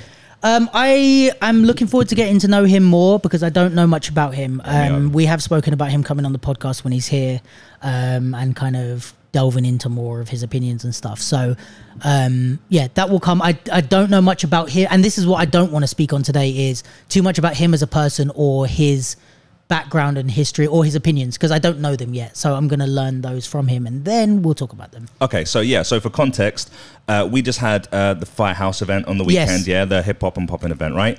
And uh, Castro, as far as I'm aware, is a popping educator, right? Yes. Which is what it says as part of his bio on his Instagram, right? Yeah, he's like a let's say like an academic, a dance academic. Yeah, a, da- a dance academic, right? In, in America, based in America. And he has connects with a few dancers over in the UK in here, right? And so we had uh, the uh, Firehouse event where um, uh, Paris judged uh, on her own until the semifinals. Um, and that she was judging alongside other dancers at that point, right? As always, there are um, differences of opinions of of uh, what decisions were made and, and whether someone should have got uh, beat or whether they should have won or lost or whatever. Um, and after the event, for whatever reason, Castro um, on his uh, social media, on his Instagram, put up on his story uh, this The judging in the UK is absolutely atrocious. Y'all clearly do not understand pop into the extent necessary to sit in those seats and make calls on who won or lost. As stated before, when I come back next year, judging workshops are happening, because what the fuck, lol. So, here's the thing. He didn't say it was about Firehouse. No. He has said in a couple of comments that it wasn't just about one battle. Which makes sense even from the context of that. Which Yeah. it seems to be a, a series of events, Yeah. and this is like the straw that broke the camel's back. Yes, it does seem like this was factored in to this event was factored into. There wasn't just coincidental that there happened to be a battle on the weekend. Yeah. So, I guess the thing is, well, first of all, it kind of got people's a lot of people's backs up. Um, Just a little bit. Yeah, it it it, it did irritate a lot of people here. Yeah. I completely understand why. Because regardless, and just to say this first of all, I don't think anyone in this country or anyone in the battle scene in the world is against things being improved or things being for what you know we might differ on what that means but for things for Yeah. people to care about the battle scene and try to make things better and to improve the way we do things like we've just been talking about in in different situations i don't think anyone's against that. As long as there's you know people can say i don't want to go to that event if that's being done that way and stuff like that. If that's fine you know if that's your choice you don't have to come to every event that's being done in a certain way. There's a lot of b-boys that don't like the olympic judging thing. They just want a cultural jam where they can just cipher and whatever. Fine. Um i think i get why people got their backs up and i think it's my main point on this is the delivery of these things because i think if castro's uh kind of um, motivation is that he wants to improve the judging across the world, and he wants. It sounds, if you strip away the layers, like he wants to help the UK, and he wants to help us to, you know, we, even with the judging workshops, it's like, okay, well, you want to come and bring some knowledge here and teach it. We love that. like a lot of the knowledge that is in the UK is because people traveled and because like we had, I don't know, the Boogaloos come over here and teach. So then people learn from them and pass that knowledge down. Or this, but or like a lot of B boys came. Remember when Ronnie came and taught uh, in Watford? Yep. like b boys come and just like offer their time and teach and blah blah blah, and then that knowledge gets passed down, and that's how the scene evolves and and travels across the world, right? In essence, a great thing. Um, so all of that being said, I think the delivery is important with anything that where you want to make change. Because if you're just saying stuff that's your opinion, fine, but and you just want to express yourself, cool, and people are going to like that or not like that. But if you're trying to get people to listen, you have to think about the way that you're speaking, and I think the way that this message was delivered is what got a lot of people's backs up. Not so much the message itself, because we have people here talking about judging systems. Kev's been talking about judging systems for years, and Kev is not someone who hasn't got people's backs up before. but we're not, it's not like a brand new idea, you know? It's not like he's just come over and been like, no one in the UK should ever pop. And we're like, wait, wait, what? Like, it, it's, oh, you want to improve the judging system. This is something we're familiar with. Cool. I don't think anyone has a problem with that. I think the issue is saying it like that. And a little bit as a side note, the fact that if it's about the firehouse battles, the battles aren't online yet. So if you're in America, how do you know about the judging? That's all I'll say. But if I'll happily say more if you like. Yeah, I don't. I'm not not to no, stir up if that shit. if that makes you want to say more, Stir then it go up, for it. Lee. yeah, well- we can always edit later. Okay, yeah, yeah, that's a good point. Oh, yeah, well, like, oh, there it is. Um, yeah, well, look, the first point you made about like this, the approach.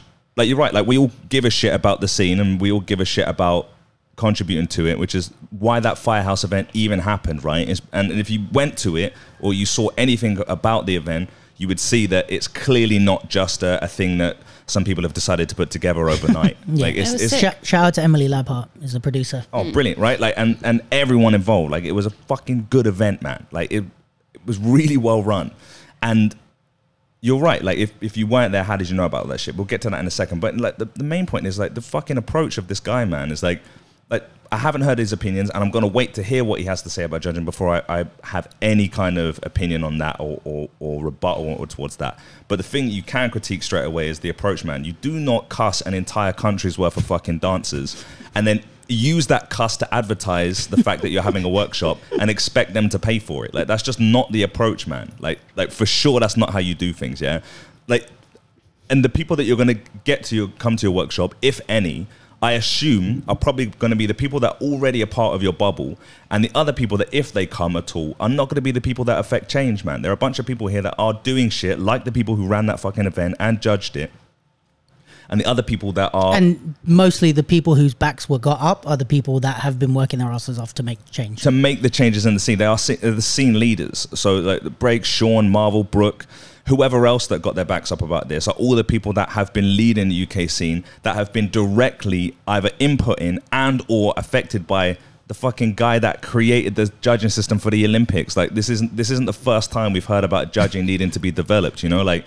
It's like, come on, man, and and then telling us that we need to come to your work, we need to pay you to to learn from you is ridiculous, man. Like that, like that that ability to communicate needs to be improved. If you have something that is of value that can help us, for sure, because the like no one is against learning from other sources. I, mean, I assume anyway. I don't know. I can't speak for everyone and else, right? no matter how, and on the flip side of that, no matter how intelligent, valuable, whatever you are, you're not um, you're not exempt from communicating well. Of course, and nicely. It's like you might come. I might be starving in a desert and have need water or whatever. You know, I'm like dying of thirst, and you might have the only water source for 60 miles. But don't come and kick me in the face first.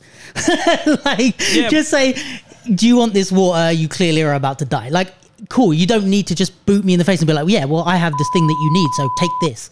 yeah, like, I mean? like, it's just it's ridiculous. Like, like, it's just ridiculous, man. Like, and it's like, and just so there's no confusion, regardless of the context of what it is that you are trying to give or or impart or help with. Again, you're not exempt from communicating. But if you came over, you're trying to sell fucking cookies. You wouldn't be like, yeah, you fucking, you're all shit at baking. The British Bake Off sucks. You need to come to my cookie shop and buy my cookies and learn how to make my shit. And it's like, brother, what are you talking about, man? Like, yeah, it was just a ridiculous approach. But the thing is, there are dancers in this country, in terms of like, how did you even know about the event? Is that like, I think part of the reason that we like people in the scene got the backs up as well is that we assume that there are some people in this dance scene that that we embrace as UK dancers that are communicating directly with Castro to complain about things and using Castro as a voice to be able to express any gripes about decisions that they're unhappy with. which for us is not the I- ideal way to do things if that's the case. That's what it because it's you know i have a lot of issues with the uk dance scene. I think i contribute at least an equal amount that i complain about. Publicly i contribute more. I complain way more behind the scenes than i do i- in public because at the end of the day i love the scene i love everyone in it. I, this has given me my best friends my life. Like i care about this fucking scene and this country and the people in it a lot. Even the ones that i don't get on with i'm like i'm glad you're here con- contributing your artistic shit to the to the scene you know? So i think when you have that a bunch of people who have spent decades being here and you know being a part of this thing it's like for someone to not at least speak to us first like and you know it's not like some gatekeeping thing oh you have to go through us before you talk to anyone else no but it's like you know if i'm if i'm gonna I don't know, talk about events or something, and I'm there's someone else cussing events that I'm I'm telling them like, oh, the UK events are shit, blah blah blah. It's not the first time I've raised this in the UK. Like I've been talking about my issues with dance events with all the people that run the biggest dance events. Like I've spoken to Rob about it. I've spoken to fucking Kimberly J back in 2008 about it. I've spoken to Clara about my issues. Like, I know I've spoken to all these people and made my feelings known. Everybody knows where I stand. I have the podcast, which is, you know, out here every week. So my feelings have been made known. So now if I go and talk to other people about it, it's like, well, yeah, he has been saying that. We do know that he feels like that. But if you're not making your feelings known, but you're making them known in private, it's a bit like, hey, like you, we you can come and talk to us. Whoever it is, it might be multiple people, but it's like you can come and talk to us. You know what I mean? And like we can all try and help change these things together. If Yeah. I say, if I go to like Clara and I'm like, listen, uh, when you run Juste Debout UK, I don't really like the way this has happened or whatever. Clara might be like, oh, cool. Well, let's. Well, tell me your ideas, and I'll maybe try and implement them for the next one. Or she's going to maybe know, and ask more people, you know, and say, well, what about this? Maybe even something like Boiled Heads came from Clint or you guys having conversations and people telling you their issues with events. So it's like we want to change the scene and we want to improve things, but if you don't tell us your opinions, if you're if you're from here and you're part of this community, then how are we gonna make those changes? You know, and it just feels a bit like, oh well, we wouldn't have reacted badly if people had said this to us. If someone had said, uh, you know. Hey, like come up in person and been like, "Hey, I'm not really a fan of the way this was," or spoken to Brooke and been like, you know, you know, uh, I don't like the way this was judged, or blah blah blah. Yeah, That's very different. feedback is always welcomed, Yeah. but that's not feedback. That's like I I'm kind of echoing what Lee says. It was kind of a shameless plug, and it was you need to listen to the US or whatever. Like the UK has a really good popping scene. Like I'm not a part of them saying it as an outsider, but we've got shit going on here. So to just say, oh, all of the UK they need to work on their judging, I just see it. It seems a bit unproductive, and it's not how I would give feedback about something.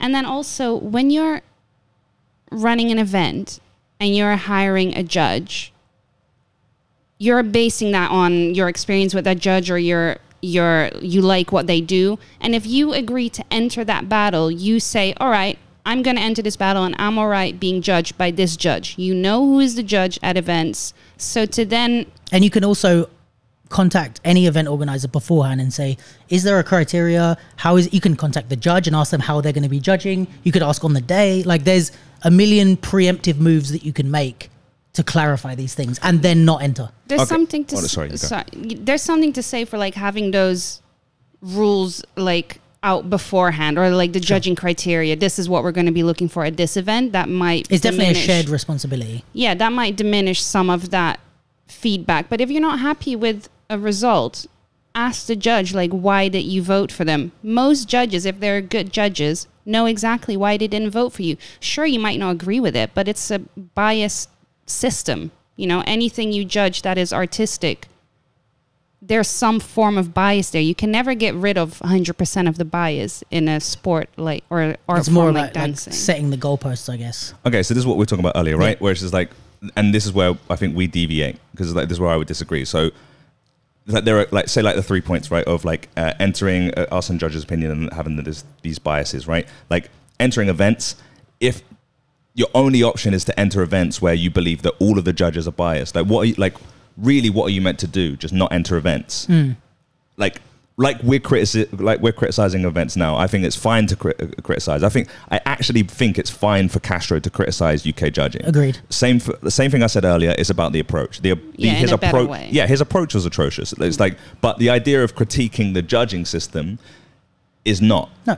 Right. And we do that ourselves. And everyone, you know, like we, like I said before, it's like, we know.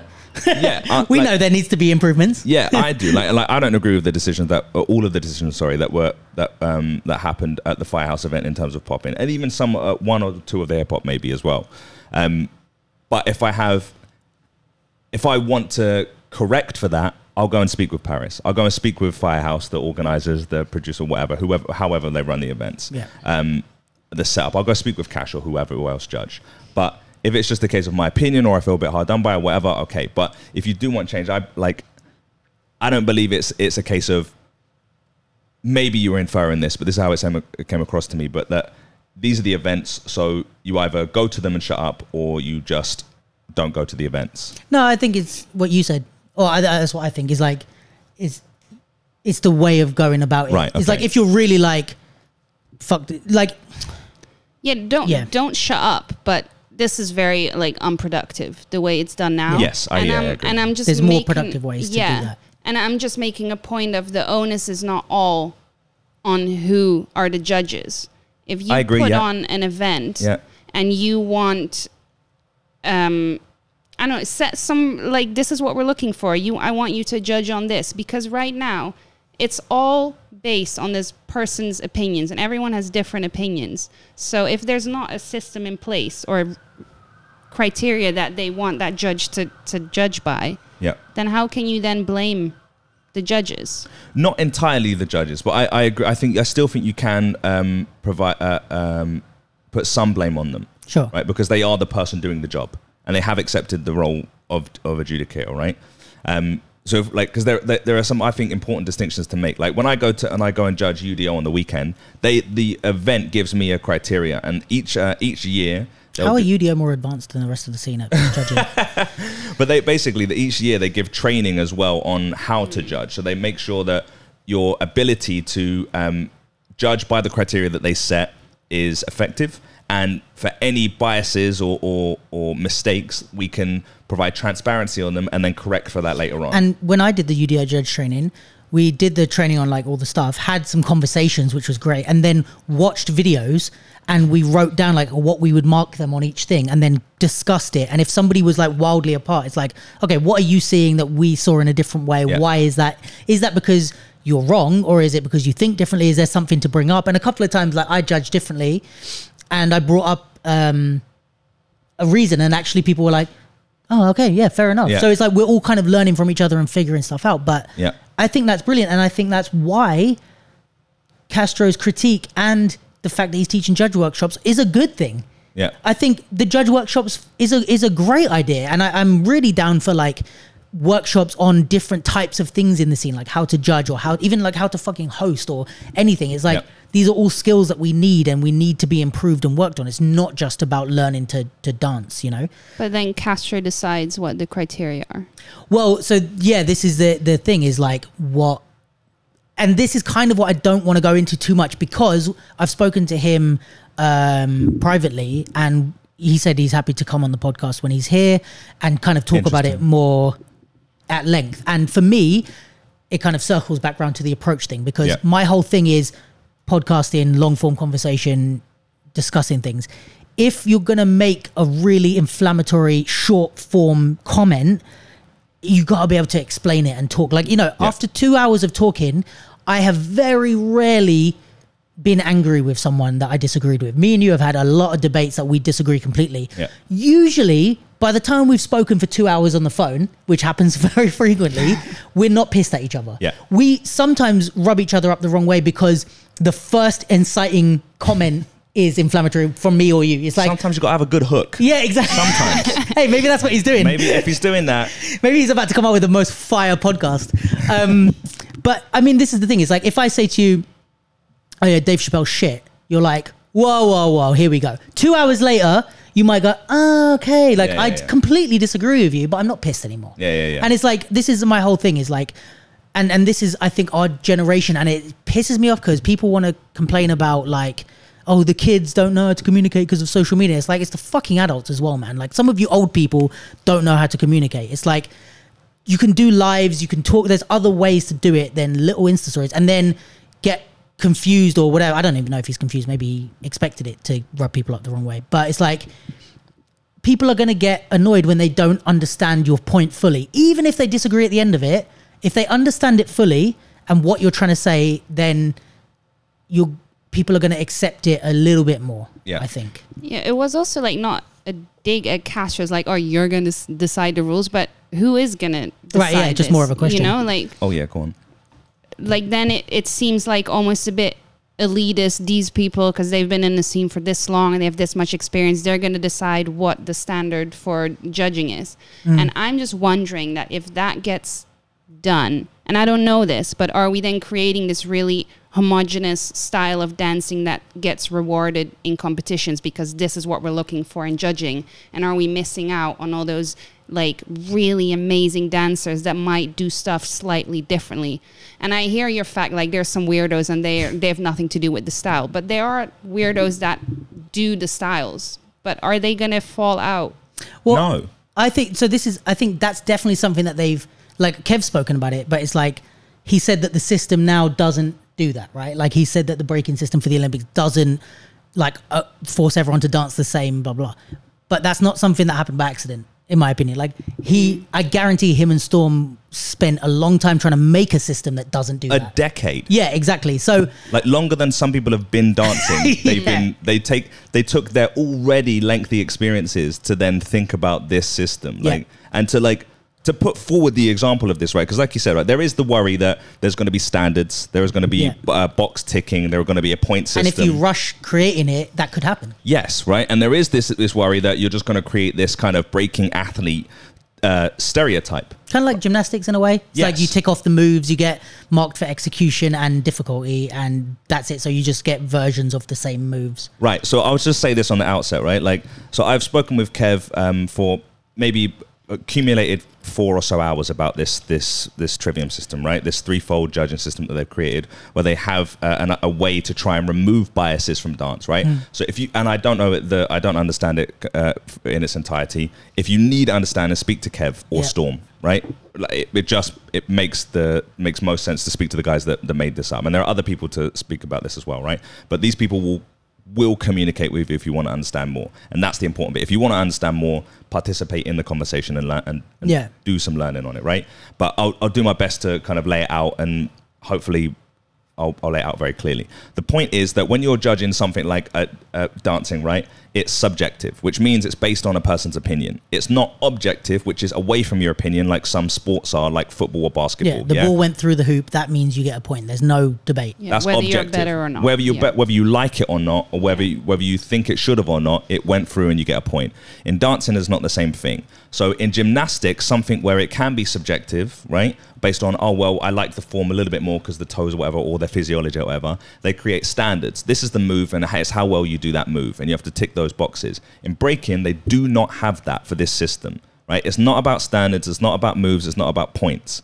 It's comparative judging, which means that someone does something, dancer A, and then dancer B will come along, and you're seeing how that dancer compares to that dancer based on what it is they've done at the time, mm-hmm. right? And obviously, we need to judge them and understand what it is that they are doing. And those things that they're doing are the values or the things that we value within the dance itself, right? So there are a bunch of things or a system of values or a set of values within our dances that we all agree on are important in the dance and all of them hold equal value so Well, I think that's where the worry might come in, and I'm not saying they haven't thought about it. Yeah, but but for people that don't know about it, is those values that we, in air quotes, we all agree on. Yes. Is like the worry immediately that, and I know a little bit, but not loads. But the thing that pops into my head as a question that would be asked Yeah. is, well, what are those values? Is it, oh, I can do more air flares than you? Ah. You know what I mean? Or like, what Well, are the values? And and I'm not saying, you know, obviously I can go and read this and I'm sorry, but for the sake of conversation, is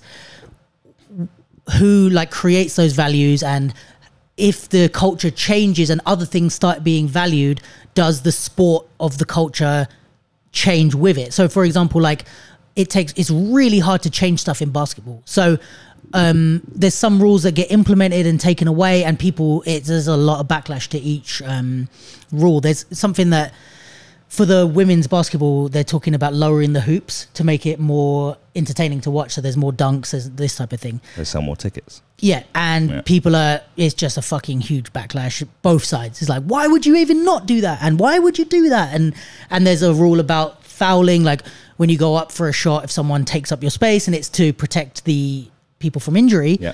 But again, it's like, oh, this is a new rule. It's, oh, it's a big change. So it's like that's in basketball, which is pretty much this athleticism and stuff has changed, but the sport has pretty much been the same since like the 50s, right? yeah Culture changes daily. yes So the question in people's head and the concern, which again obviously can be uh, remedied by researching, but just again like selling your product to Yeah. the average person, is the question is if this culture changes and shifts or is it only based on one like who should we base this on because in japan maybe they value different things than they do in denmark and then if the culture changes in 10 years are we going to be able to update this you know what i mean there's all these questions that i think would come up and i'm sure there are answers to it Yeah, there are answers to it. And I mean, I'll do my best to answer some of them, right? Sure. So, first thing, culture has changed over the last 10 years. Would you agree or disagree? I would say right, so, yeah, yeah. cool. And it took 10 years to make this thing. So, it's something Mm. that they've considered over the course of the time where this culture has changed extensively. So, that already, I would say, is, is considered in that. Mm. I don't think they're adverse to the idea that the things that we do value may change as well. Cool. Because it is subjective, right? It is subjective, right? But it doesn't mean you can't talk about it objectively. We just need to agree on the parameters in which we're talking about it, right? And I'll use an analogy in a minute. But from what uh, Kev told me, is that they basically said, all right, let's get a big whiteboard and let's write all let's write down all the words we can use to describe break-in and describe what we value in break-in without using break-in terms okay right? So we can't use things like air flare, top rock, or whatever. Yeah. But we have to use things like flavor or style or storytelling or stuff mm. like this, right? And then what they do is they get all the words together. Let's say they've got 50 words and they go, okay, cool. Well, this, this word is like, it means the same yeah, this means the same as this. Okay, cool. And then so we'll, we'll, we'll just we'll get rid of this one and we'll just use this one. And and this actually can be better explained by this word here. And actually, if these two words uh, are, are combined for this word, then we have this, right? So they whittle down all the words, and then they go, okay, cool. So let's uh, let's get all of these words properly, or, like or define them a bit better, right? So then instead of um, storytelling, they'll have composition right? So you may not necessarily tell a story in that as in the traditional aspect of beginning, middle, and end, but you may have uh, you may compose your movements in a round to have a beginning, middle, and end, right? So you have composition, and then they'll do this thing. So it's like power, for example, whatever it comes under athleticism, and uh, uh, stage presence or whatever comes under performativity or stuff like this. You and know? I, I would assume that like even within those things that's where you still have to apply some sort of personal opinion because let's say like um uh Yes. what's good storytelling right Eh, uh i'm trying to think of an example um I don't know. There's plenty of in, in film and TV, but like good storytelling is like, oh, you you introduce a character, you have a start, middle, and end, three act structure, blah blah blah, whatever. That might be the status quo of like what is. That's why Marvel is so formulaic because it's based on this very basically uh, agreed upon three act structure. Yeah. There's an inciting incident that makes something happen. The hero kind of goes through a thing. He goes to a point where he's going to fail, and then he succeeds at the end. Right. Yeah. All Marvel films have this same fucking structure, and that's why people get annoyed with them. Then you get someone that comes along and makes something really weird, like like Tarantino. yeah, or like M Night Shyamalan, or Yeah. even like way more artsy films and stuff. So then it's like, right, if we're judging, again, I'm kind of playing devil's advocate here because I, I don't 100 percent believe all the stuff I'm saying. I very rarely do, but like if we're judging these two things against each other, Yeah. again, the worry could be, oh, this thing is what we think a story should be, but actually watching it in in thing, I enjoy this way more because of the way it's done and the creativity. And it, even though it's bad storytelling, it still actually works. You know what I mean? It's like in theory is bad storytelling, but in practice, I completely understand everything. So then, in a way that, like, if we just put the umbrella under storytelling, I could actually vote for that one, even though it's like you know we're not uh, we're not breaking it, we're not bringing it to like a gymnastics Yeah. level where the gymnastics approach would be well that one was done in the way that I was told it was should be done, Yeah. and that one is done in the way that I was told it shouldn't be done. That one wins. Whereas what I think you're saying, and I'm kind of making it more layman's terms, I guess, is like there's two things. Let's say two movies, Marvel, and then some weird M Night Shyamalan backwards thing. I like Memento. Yeah, uh, I don't remember Memento but I'll I'll take your word for it. But where you're like, okay, cool. In pr- like, I just have to judge them on the storytelling of this. Yes. Someone else is gonna, or another category is cinematography. Another category is dialogue. Another category is Yes. direction. So in the storytelling aspect, in practice, this one I think is better. So I'm still giving my opinion, but just within frameworks so that I've considered everything. Because what could happen is I could look at the cinematography of Blade Runner 2049 Yeah. and be like, it's fuck, which I do as a biased audience member. I say it's one of my favorite films based on nothing except for the cinematography. I really hated it. okay, right, there you go. and it's like I'm I'm being biased because I'm only looking at one of those categories. I'm looking at cinematography and visuals. That's it. And because that's so powerful to me, and because I have an investment in videography and filmmaking, I love the film just based on that one bias. But I think what you're saying is like it forced this system could force you to look at the other things. So if you said to me, judge Blade Runner 49, and I said, it's amazing. And you said, okay, cool. Now judge it based on its storytelling. Now judge it based on its cinematography, this, this, its acting, its uh, casting, it's this. Then I would have to go over the eight whatever categories and say, okay, yeah, overall it's shit. And Yes. that's like, I think what you're saying is the judging thing. I can't be biased because you're forcing me to even out what I look at rather than just going, oh, I love this. Yes. So when you like when you're in a battle, right, and you It's very rare that you reply to any of my theories with an outright yes. Yes. So I feel great right now about my explanation. yes, but right. So look, when you're in a battle, and just a very simple question is: if you take your shit seriously and you want to be a part of this ranking system, or you want to go to the Olympics or whatever, do you want someone that is judging you to tell you whether they like you or not, or to tell you whether you won the battle or not? They're Two very different things, right? When I get someone, or when you hire someone to put uh, sit in a judge's seat, you're asking that person to bring their opinion, yes, but the opinion is there is is separate from what they're they're asked to do. So their opinion is built on their experiences, right? Their experiences of, and their preferences. In this, what they're doing is they're just they're using their experiences to say there was a discrepancy between dancer A and B in the composition of their round. Dancer A had better composition, and this is why. Provides transparency, right? Dancer B uh, there was a discrepancy between dancer A and B in their performativity, in their performance, right? And here's why. And you do this for each value that we've set and we've decided. We'll go back to that in a second, right? So what you can say is, if we're going back to films, yeah, you you fucking hated Blade Runner, right? But when we say, okay, cool, now judge it based on its um, its cinematography, so its lighting, its color grading, right? It's its uh, composition of film. So does it does one scene follow on nicely to the next? Does the cuts work? And all of these things, right? Like, all- like maybe not specific film words, but if we say does composition work or does the Narrative, the yeah, story, does like is there is there empathy within there or something like this narrative for example some of this things that we uh, value that that aren't specifically filmmaking terms. Objectively do those things work regardless of whether you mm-hmm. enjoyed it or not?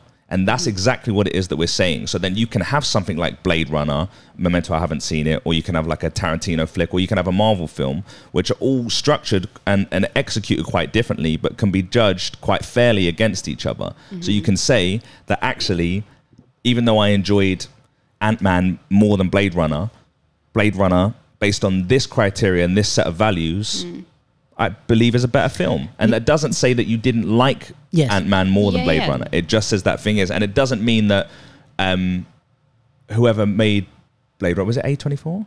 uh, well, I know the um, it was Denis Villeneuve, Okay. uh, director. Oh, yeah, yeah, yeah. Who did uh, Arrival as Yeah. well. It doesn't mean that he's always going to make better films than Marvel. No, It it's just in that moment that, that- one is Yeah, and the, the point of the whole uh, having a whole uh, system of, of judging, at least for me anyway, is to remove these biases as much as possible. You're right. We're asking for your expertise. So we are asking for your experience to be able to come and do this that are individual to, to Luke's mind or whoever else is.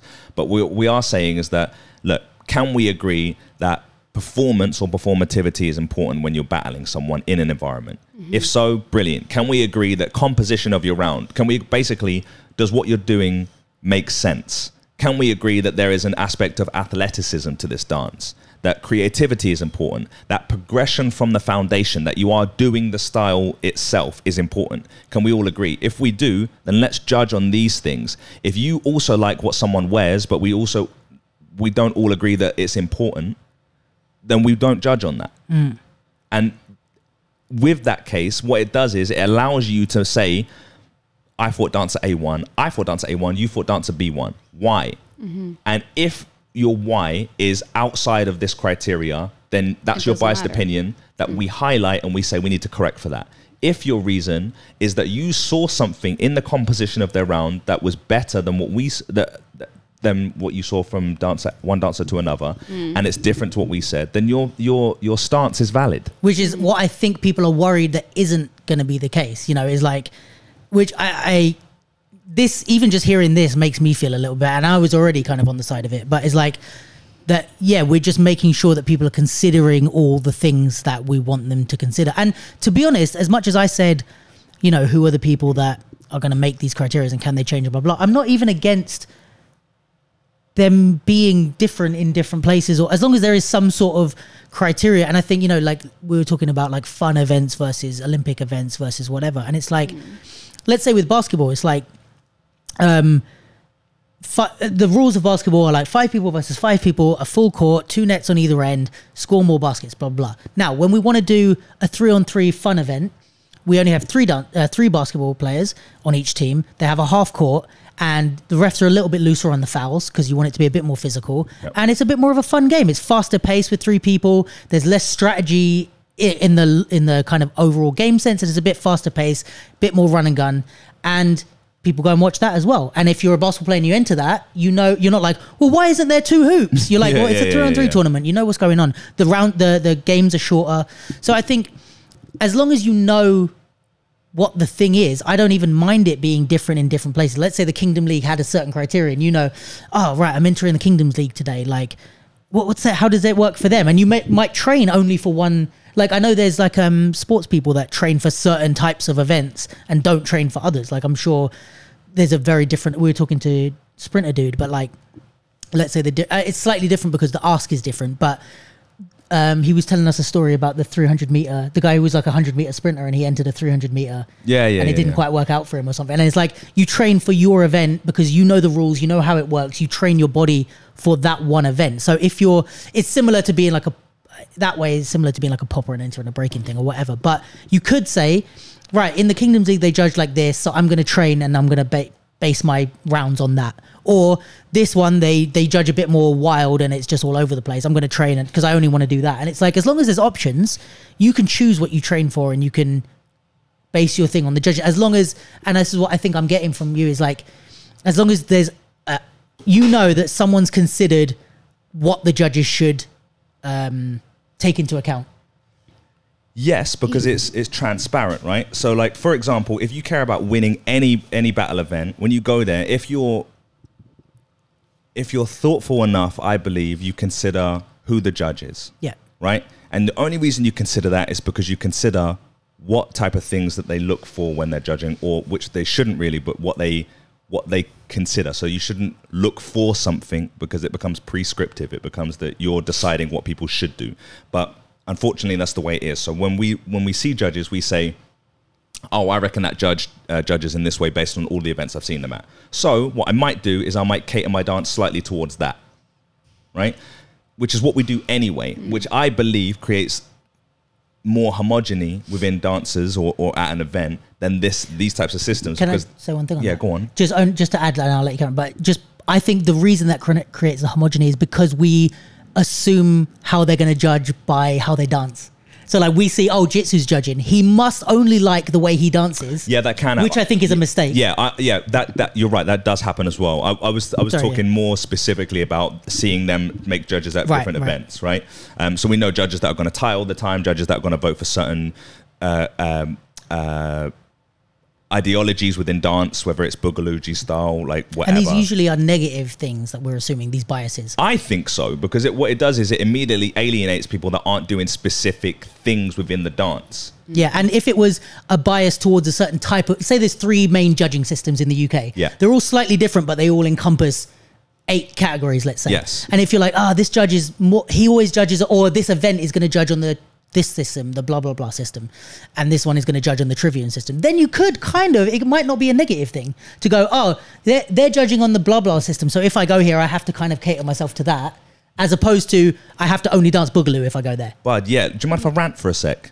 Is that all right? on. Should I fucking fucking get Well, going? thanks for asking permission. Drag him. Come on, look, we like we we all talk about uh, subjective things objectively all the time, and we participate in them all the time anyway. So this shouldn't be any kind of stretch of the the the imagination to to think that we can do it within dance and that it won't actually cause any problems. If art in general, as an umbrella term, painting, dancing, music, whatever, is subjective, why learn it? Hmm. Mm-hmm. Just just put a pen to paper and then say you're an artist. Don't even put pen to paper. who's to say that this isn't a drawing?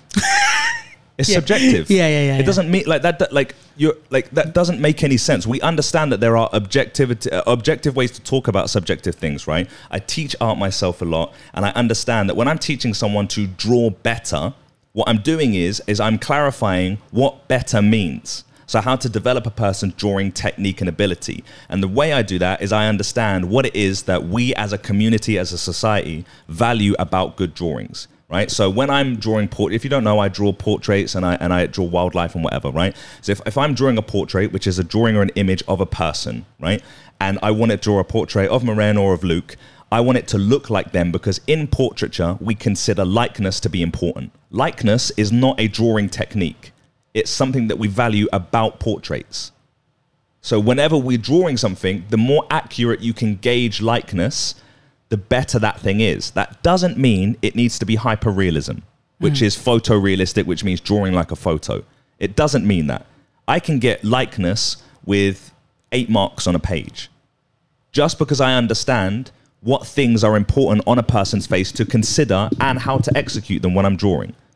Right? But that will be completely different to someone who's going to use oil paints or pencil or charcoal or won't draw both eyes. It doesn't mean you can't get those things. And we see that when we see caricaturists in Leicester Square, or whatever, they exaggerate features, but they get likeness brilliantly because they understand how to get things and in like or how to identify the important things within a person's face, right? But they're not going to draw or paint the same way I will. I have a question for you. Yes. Is the rant? Is there more rant? yeah, I mean, I'll rant kind of whenever, but I like questions. So okay, so here's my question. right? Yeah. Uh, let's say if we take the art scenario where let's say likeness is something that is uh, culturally Accepted. accepted and, and appreciated, right? Yeah. So if you're going to paint something, I'm going to paint a picture of Lee, and Maren's going to take paint a picture of Lee. Hers is going to be a bit more abstract than mine, but you can combine that. You can judge them together. yes. Mine's gonna be sick. Come on. Appreciate that. Energies. Um, now, what if there's someone who, let's say, we're you're saying this is rather than a portrait of Lee contest, you're saying this is a painting contest, right? Mm. Maren's going to come in and do some expressive strokes in a very abstract way, and I'm going to draw. I'm going to paint a picture of a of a bottle, let's say. That might be harder to compare because let's say stuff like, like it's like so wildly apart in the same way that all styles battles are kind of hard to set a criteria for because it's like breaking versus crump like our criteria separate so Okay. if we if we accept that we need to like break the dance styles into categories at least to be able to judge them because how do you judge breaking versus krump for example right because the the criteria is not universal across all the styles I believe it is. okay well that's interesting let's come back to that Yes. but my i guess my main question you can answer you can say that in the answer is would judging be easier Yeah. the more we break down these styles. So, for example, like Jack of all trades, where Yeah. they have like the is it like they have like is it Jack of all trades or they have like tutting battle, waving Yes. battle? Yeah. Is that and does that make the judging more um clear, transparent, unbiased? Because it's like, all right, we're not even talking about popping as a whole now. In the same way, we're not talking about street dance as a whole. In the same way, we're not talking about just dance as a whole, where you have a fucking ballet dancer and a popper. Yeah. So you're you're breaking it down, breaking it down. Can we go even further and just say, right? Well, the in in a uh, in addition to a judging system, we're also going to start doing animation battles. We're also going to start doing hitting battles. We're going to start doing waving battles within this, and we break down the styles and judge them that way to make it even more. You know what I mean? Yeah, okay, completely. So, as far as I wa- I'm aware, the threefold or trivium judging system that they created works um, as when you push the styles as far away as possible. So, like krump versus house or whatever, or popping versus breaking. And it also works when you're doing uh, really style specific, like tutting animation or top rock or whatever battles, right? Um, I believe it makes it a lot easier if we get the more parameters we put in place because it leaves less room for deviation, right? Or, or like kind of falling out of categories or whatever, right? So if we have a tutting battle, if we say if we take that whole system of values that don't have any um, style specific words, and the only style specific word we have is tutting, and we say cool, then we still like as long as you're doing all of the same stuff but within tutting. So your composition of your tuts, your uh, your athleticism, your performance, your creativity, your progression from the foundation. Are you doing tutting? Like you know these things. Like so that pro- to be fair, progression from the foundation is a, is a part of this system that really is the kind of thing to say. Make sure you're doing the style Yeah. right? Um, But this it'd be the same thing in drawing as well. So if we're doing a painting competition, right, and we're saying cool, then it's portraiture, right, or whatever. But if we're just doing, if we're going really wild and we're saying just do painting, Crazy shit. yeah, then it's like really abstract and really like like you're painting a bottle like still life. Then it's a case of cool. So what things do we value in painting? Form, Mm. light, color, composition. So that should enable you to judge me draw, painting a bottle and Maren painting something completely. Absolutely, man. Call You me see it. Megan again. Me- Megan. we saw it when you came to Maureen. If it, so, at the, when I was at this art fair, right, the the person that coached me to get into that fair, she does very minimalist work, and a big thing that she uh, um uh, she does in her work is is having as little marks on the paper as possible. Like, she'll make an entire piece that's about three or four feet wide with about four or five marks, right? Whereas you've seen my work, and I've got Bare thousands. marks. yeah thousands right? Like it like it, mine goes all over the place. But we still build our works based on the same principles. Mm-hmm. color composition form light uh, storytelling whatever. Like and or things how things work together framing whatever. Like we still build images off the same principles. Mm. it's just that the the things that we're doing are going to be style specific. So you can still judge someone that's doing krump against breaking because they both have performance creativity composition all the same stuff that you've been saying Which, to be honest, is how I judge all star battles anyway. Maybe, and again, not saying I'm the perfect judge because I'm definitely not, but like that's where I think actually, like my biases, and I very rarely judge before I get fucking Insta stories made about me. But like, like I've, uh, I, my, I probably judge all styles battles.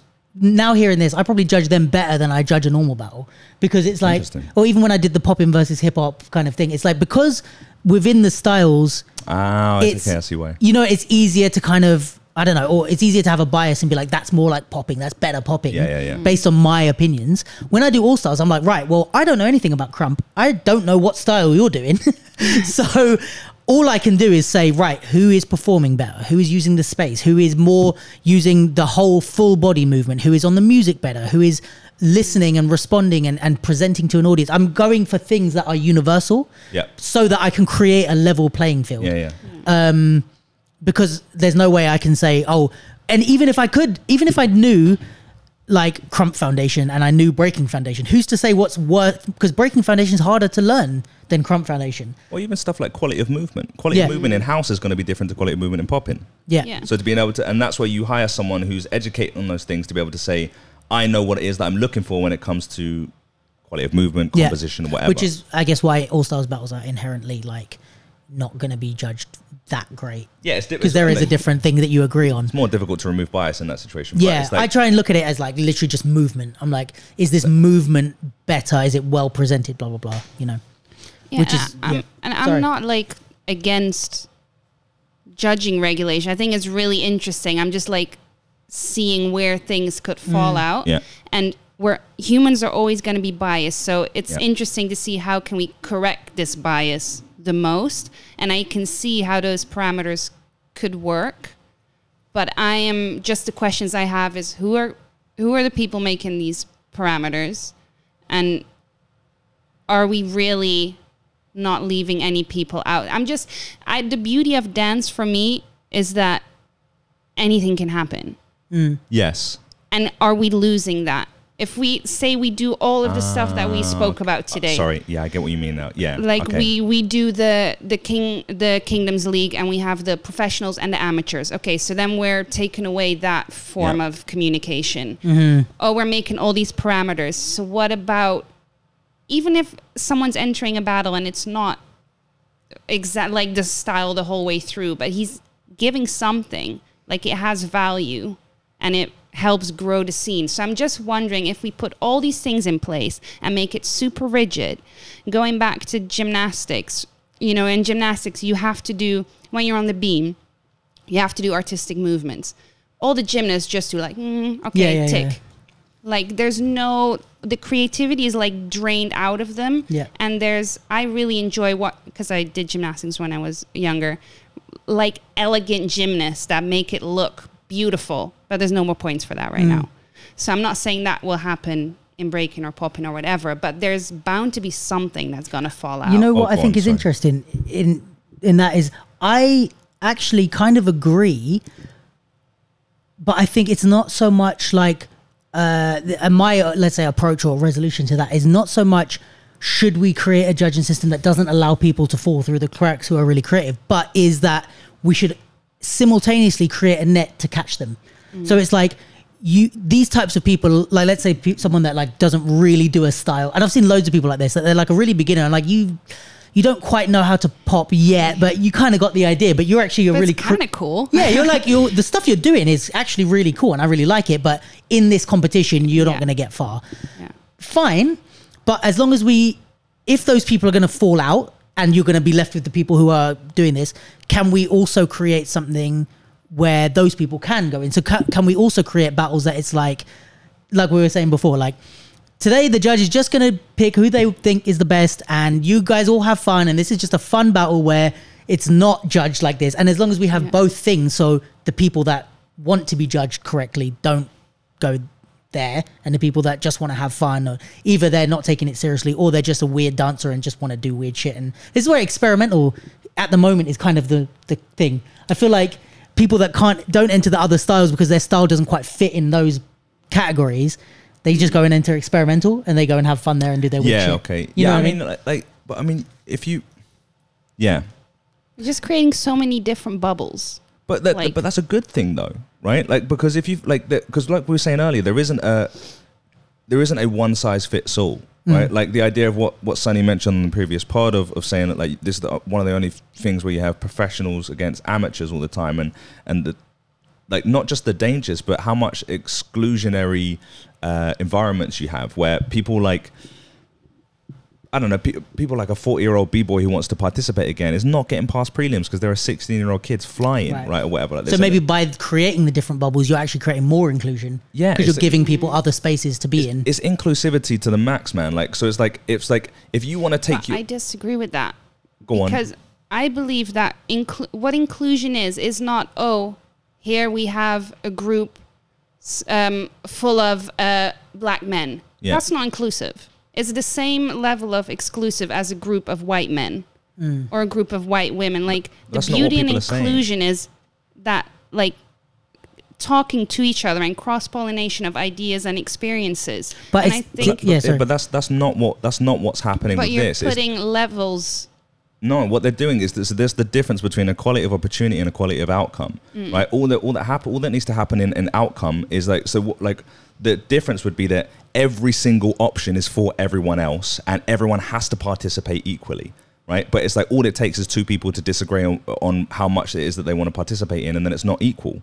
Right, but if you create an op- equal equality of opportunity, where it's you say the Olympics is open for anyone that wants to be able to take it that to that level, right? It's like it's not that me and you can't go into the Olympics because we're excluded because they don't want a, a brown guy or a white woman in there. It's because it's for the, the people that take it the most seriously and that invest the most time, the people that have chosen to do this and that are capable of doing this the most, right?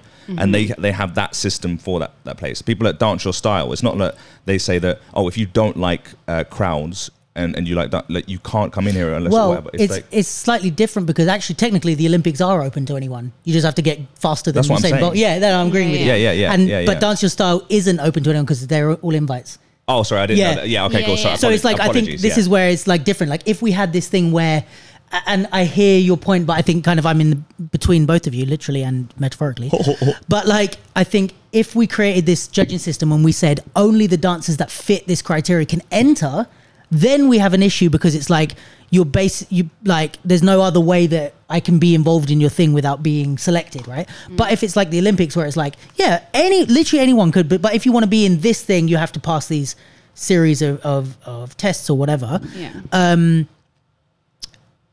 I think that kind of leaves it like this is what I mean about creating the different spaces and stuff because it's like we create this where people can go if you pass these certain things, but then oh wait, I've kind of lost my thread here. Do you mind if I jump in and then Yeah, you yeah, can you just go, go, interrupt, go. interrupt me whenever it Okay. comes back, right?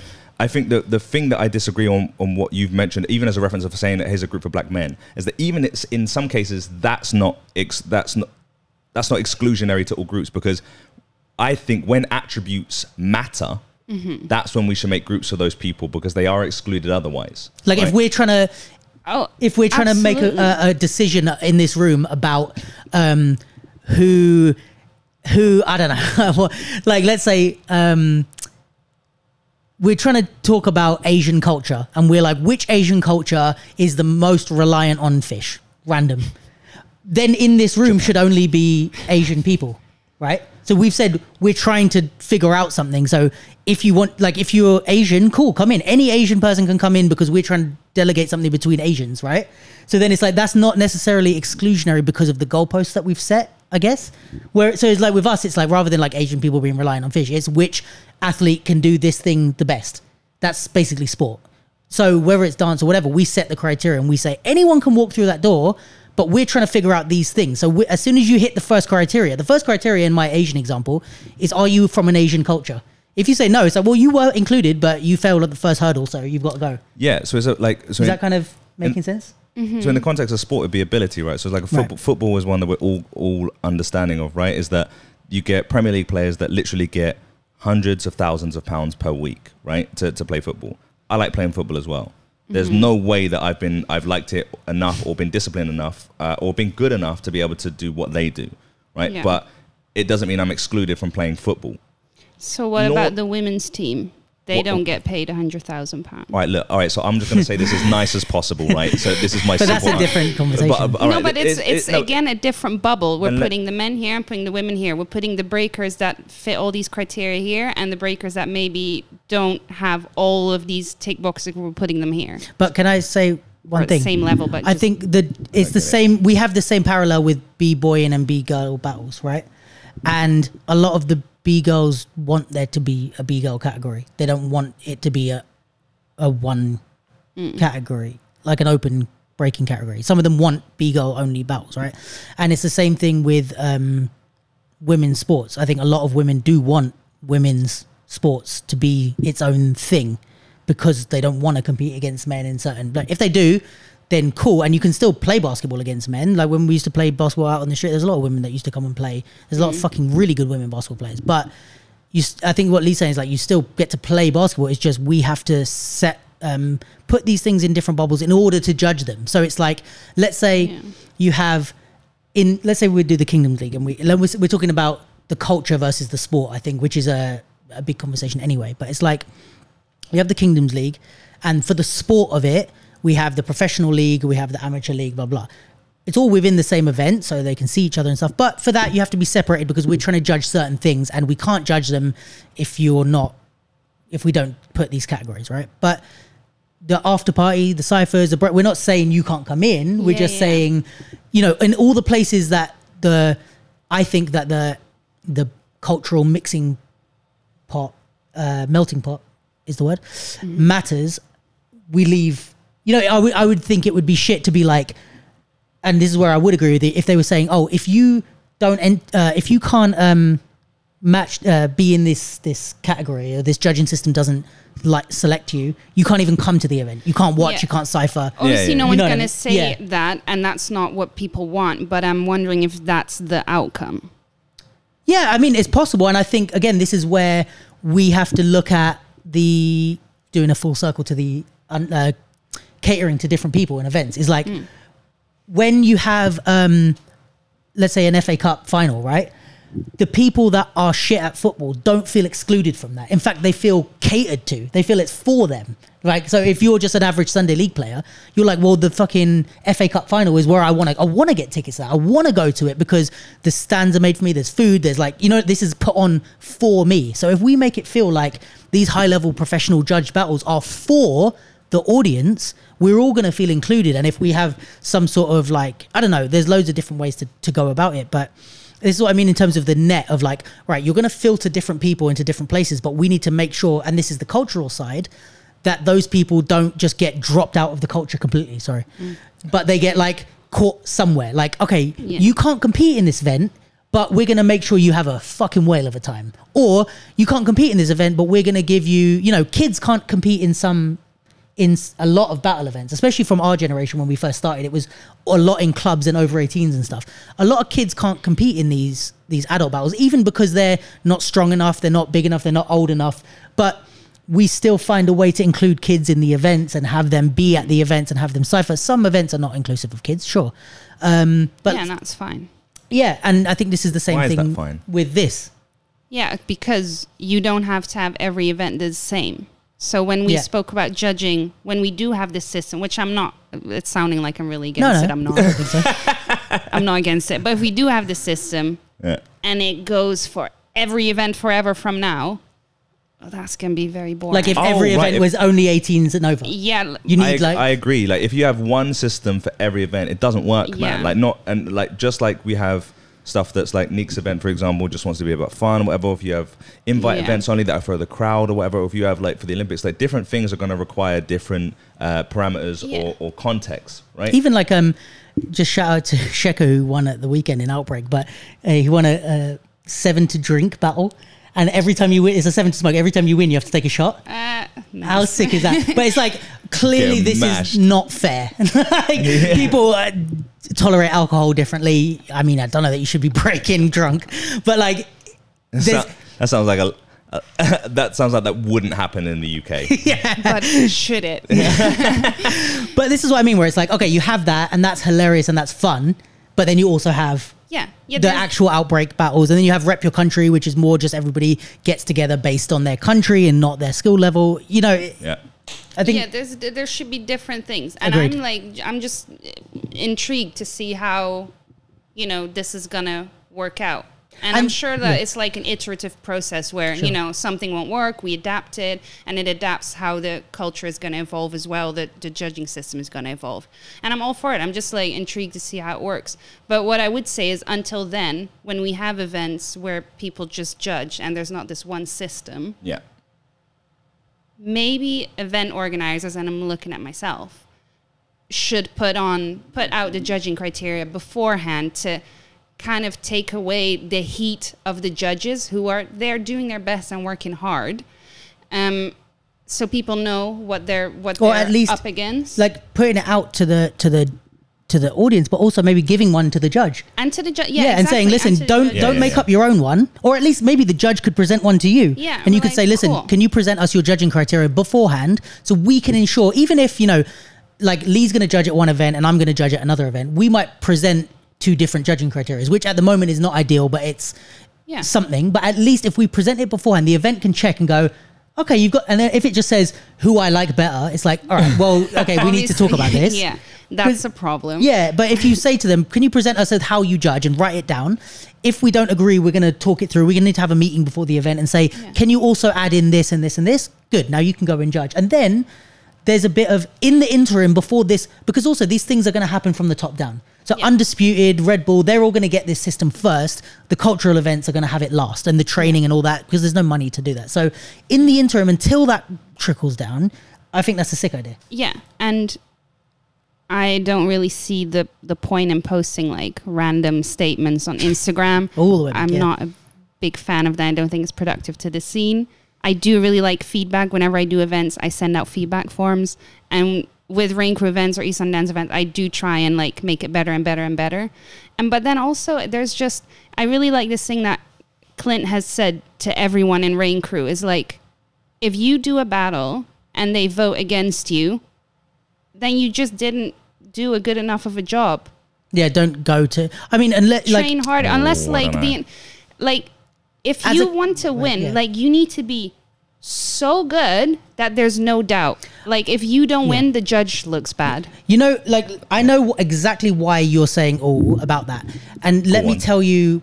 Let me tell you why. Let me tell you why, because that's a wide. Uh, it's a wider issue that we should look at. Oh, you the- got to say white. I it's a white people thing. No, Oh. it's a wider issue to to worry about these um, judging issues, and it takes infrastructure and people Yeah. to get together and make these decisions. I think that's important, and it should be happening, and we should be making changes. However, as a competitor, in the moment, this is not something that you address then and there, because when we used to play basketball, right, that we would you know travel, and sometimes the referees would be people from that hometowns like.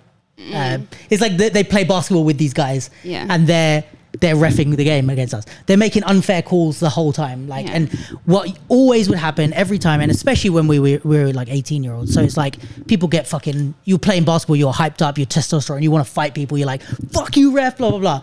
But what the coaches, every coach I've ever had, and it's just a known thing, I think, across like a lot of competitive sports, is let the coach deal with that. I will contest, if I'm the coach, I will contest the calls. I will talk to them after. I will submit a complaint. I will talk to the regulatory bodies, right?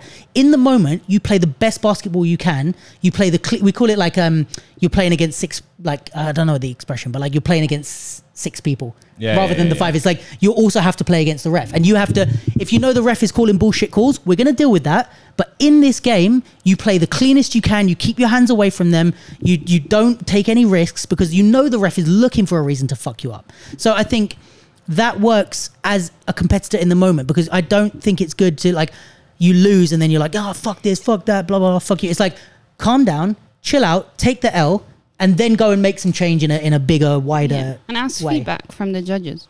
yeah and, and deal with it afterwards you know however you want to deal with it. But in i think you you have to as a competitor not let especially if you've got more battles to do in that day. Imagine you're doing that round robin thing and one battle you think they're being biased so it throws you off and you're going crazy. It's like you've got other battles to do. Keep your fucking head in the game you know? It's like a boxer doesn't worry about that during the round. Is like oh the referee's not or they're not calling the right points when i'm hitting him. It's like that's what the coach is for that's what after is for that's what the investigations and stuff you know what i mean Yeah.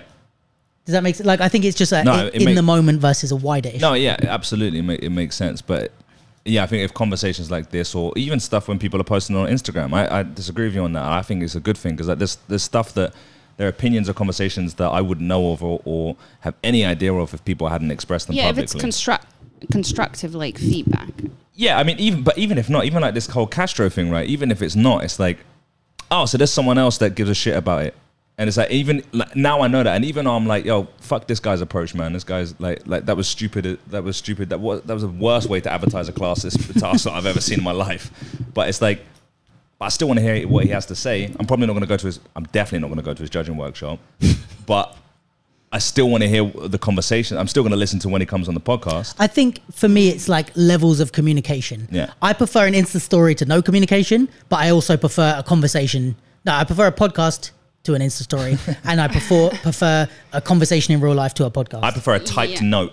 yeah, yeah, yeah. A letter. Yeah. But it's like you know what I mean. It's like all right, an Insta story is better than nothing, but there are still better ways to Well, do it. I don't. I don't know that I fully agree with that. And to be to really honest with you, when you posted it on the capsule, you were fucking stupid. I was like, yeah, and I wasn't. I Like, know not everyone agreed with uh, me posting it, but Well, I'm not. I'm not agreeing or disagreeing with it, but I was in two minds. One, I was like, you're doing like you're being unbiased and you're posting what's out there, and on the other hand, is like, do some things need to like be fueled when it seems so unlike Yeah, I also don't think it's fair to that people don't get a chance to respond.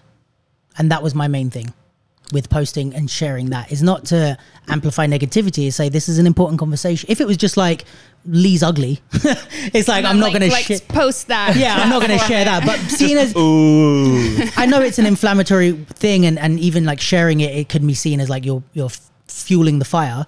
But I also think yes, I'm fueling the fire, but I'm fueling the conversation, which for me is more important, and it's worth the Right. fire that comes with it. It's worth people's backs getting up because of how much conversation this is going to generate and has generated Yeah. privately and in public. So for me, when that's I it, I was thinking like, oh, but you know, I know you, so I know your intentions. But No, everyone I does. did when I first saw it. Was like, yeah. really, but n- not in like. Uh, yeah and i mean that's fine and i think yeah i think everyone's you know what we're talking about contribution and this is something i had a conversation with i had a conversation about privately the other day but in terms of sharing stuff like that everybody's contribution is everybody's contribution and i think i'm 100% down for people to disagree with how i go about things whether it's stuff i say on the podcast whether it's stuff i do in the capsule whether it's the way i operate anything fine but in the same way that Firehouse can run their event how they like to, I don't go and say, you know, well, I can say I don't like that round robin thing. Doesn't mean they should change it. Yeah, I, I do like it for, for the record. But in the same way that it's like, you know, people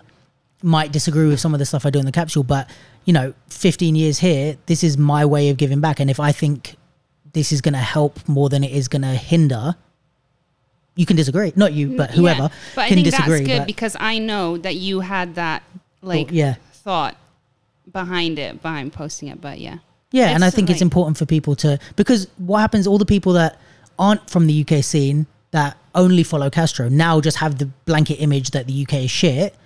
Whereas if you get people to have a conversation and respond, now there's balanced conversation to be found about this thing Yeah. in the world. Whether it's the statuses that like Sean and uh, whoever breaks and whoever else made, whether it's this podcast, whether it's the conversation I'm going to have with Castro, like I think generating more intellectual discourse is always worth a bit of uncomfortable. Now, if it was Yeah. really bad and I thought, okay, the, the conversation that's going to come from this is not worth how horrible this thing is, that would have been my judgment to not do it. But anyway, Yeah. that's just a little bit about my reasoning of the th- certain things that I share. I think, yeah, I think Yeah. that's great. I think you're doing cool things. um, and yeah, I'm super.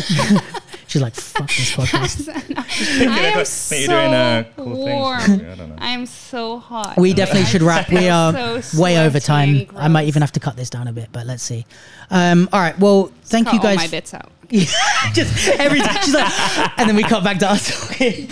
Um, you know, thank you guys for being here. Um, you're going to be here more frequently, maybe less so you, unless you want to be. You're always welcome to have a mic. Who Not knows? I'll ever be here, again. so, yeah. Um, we'll hopefully have Sophia back next week.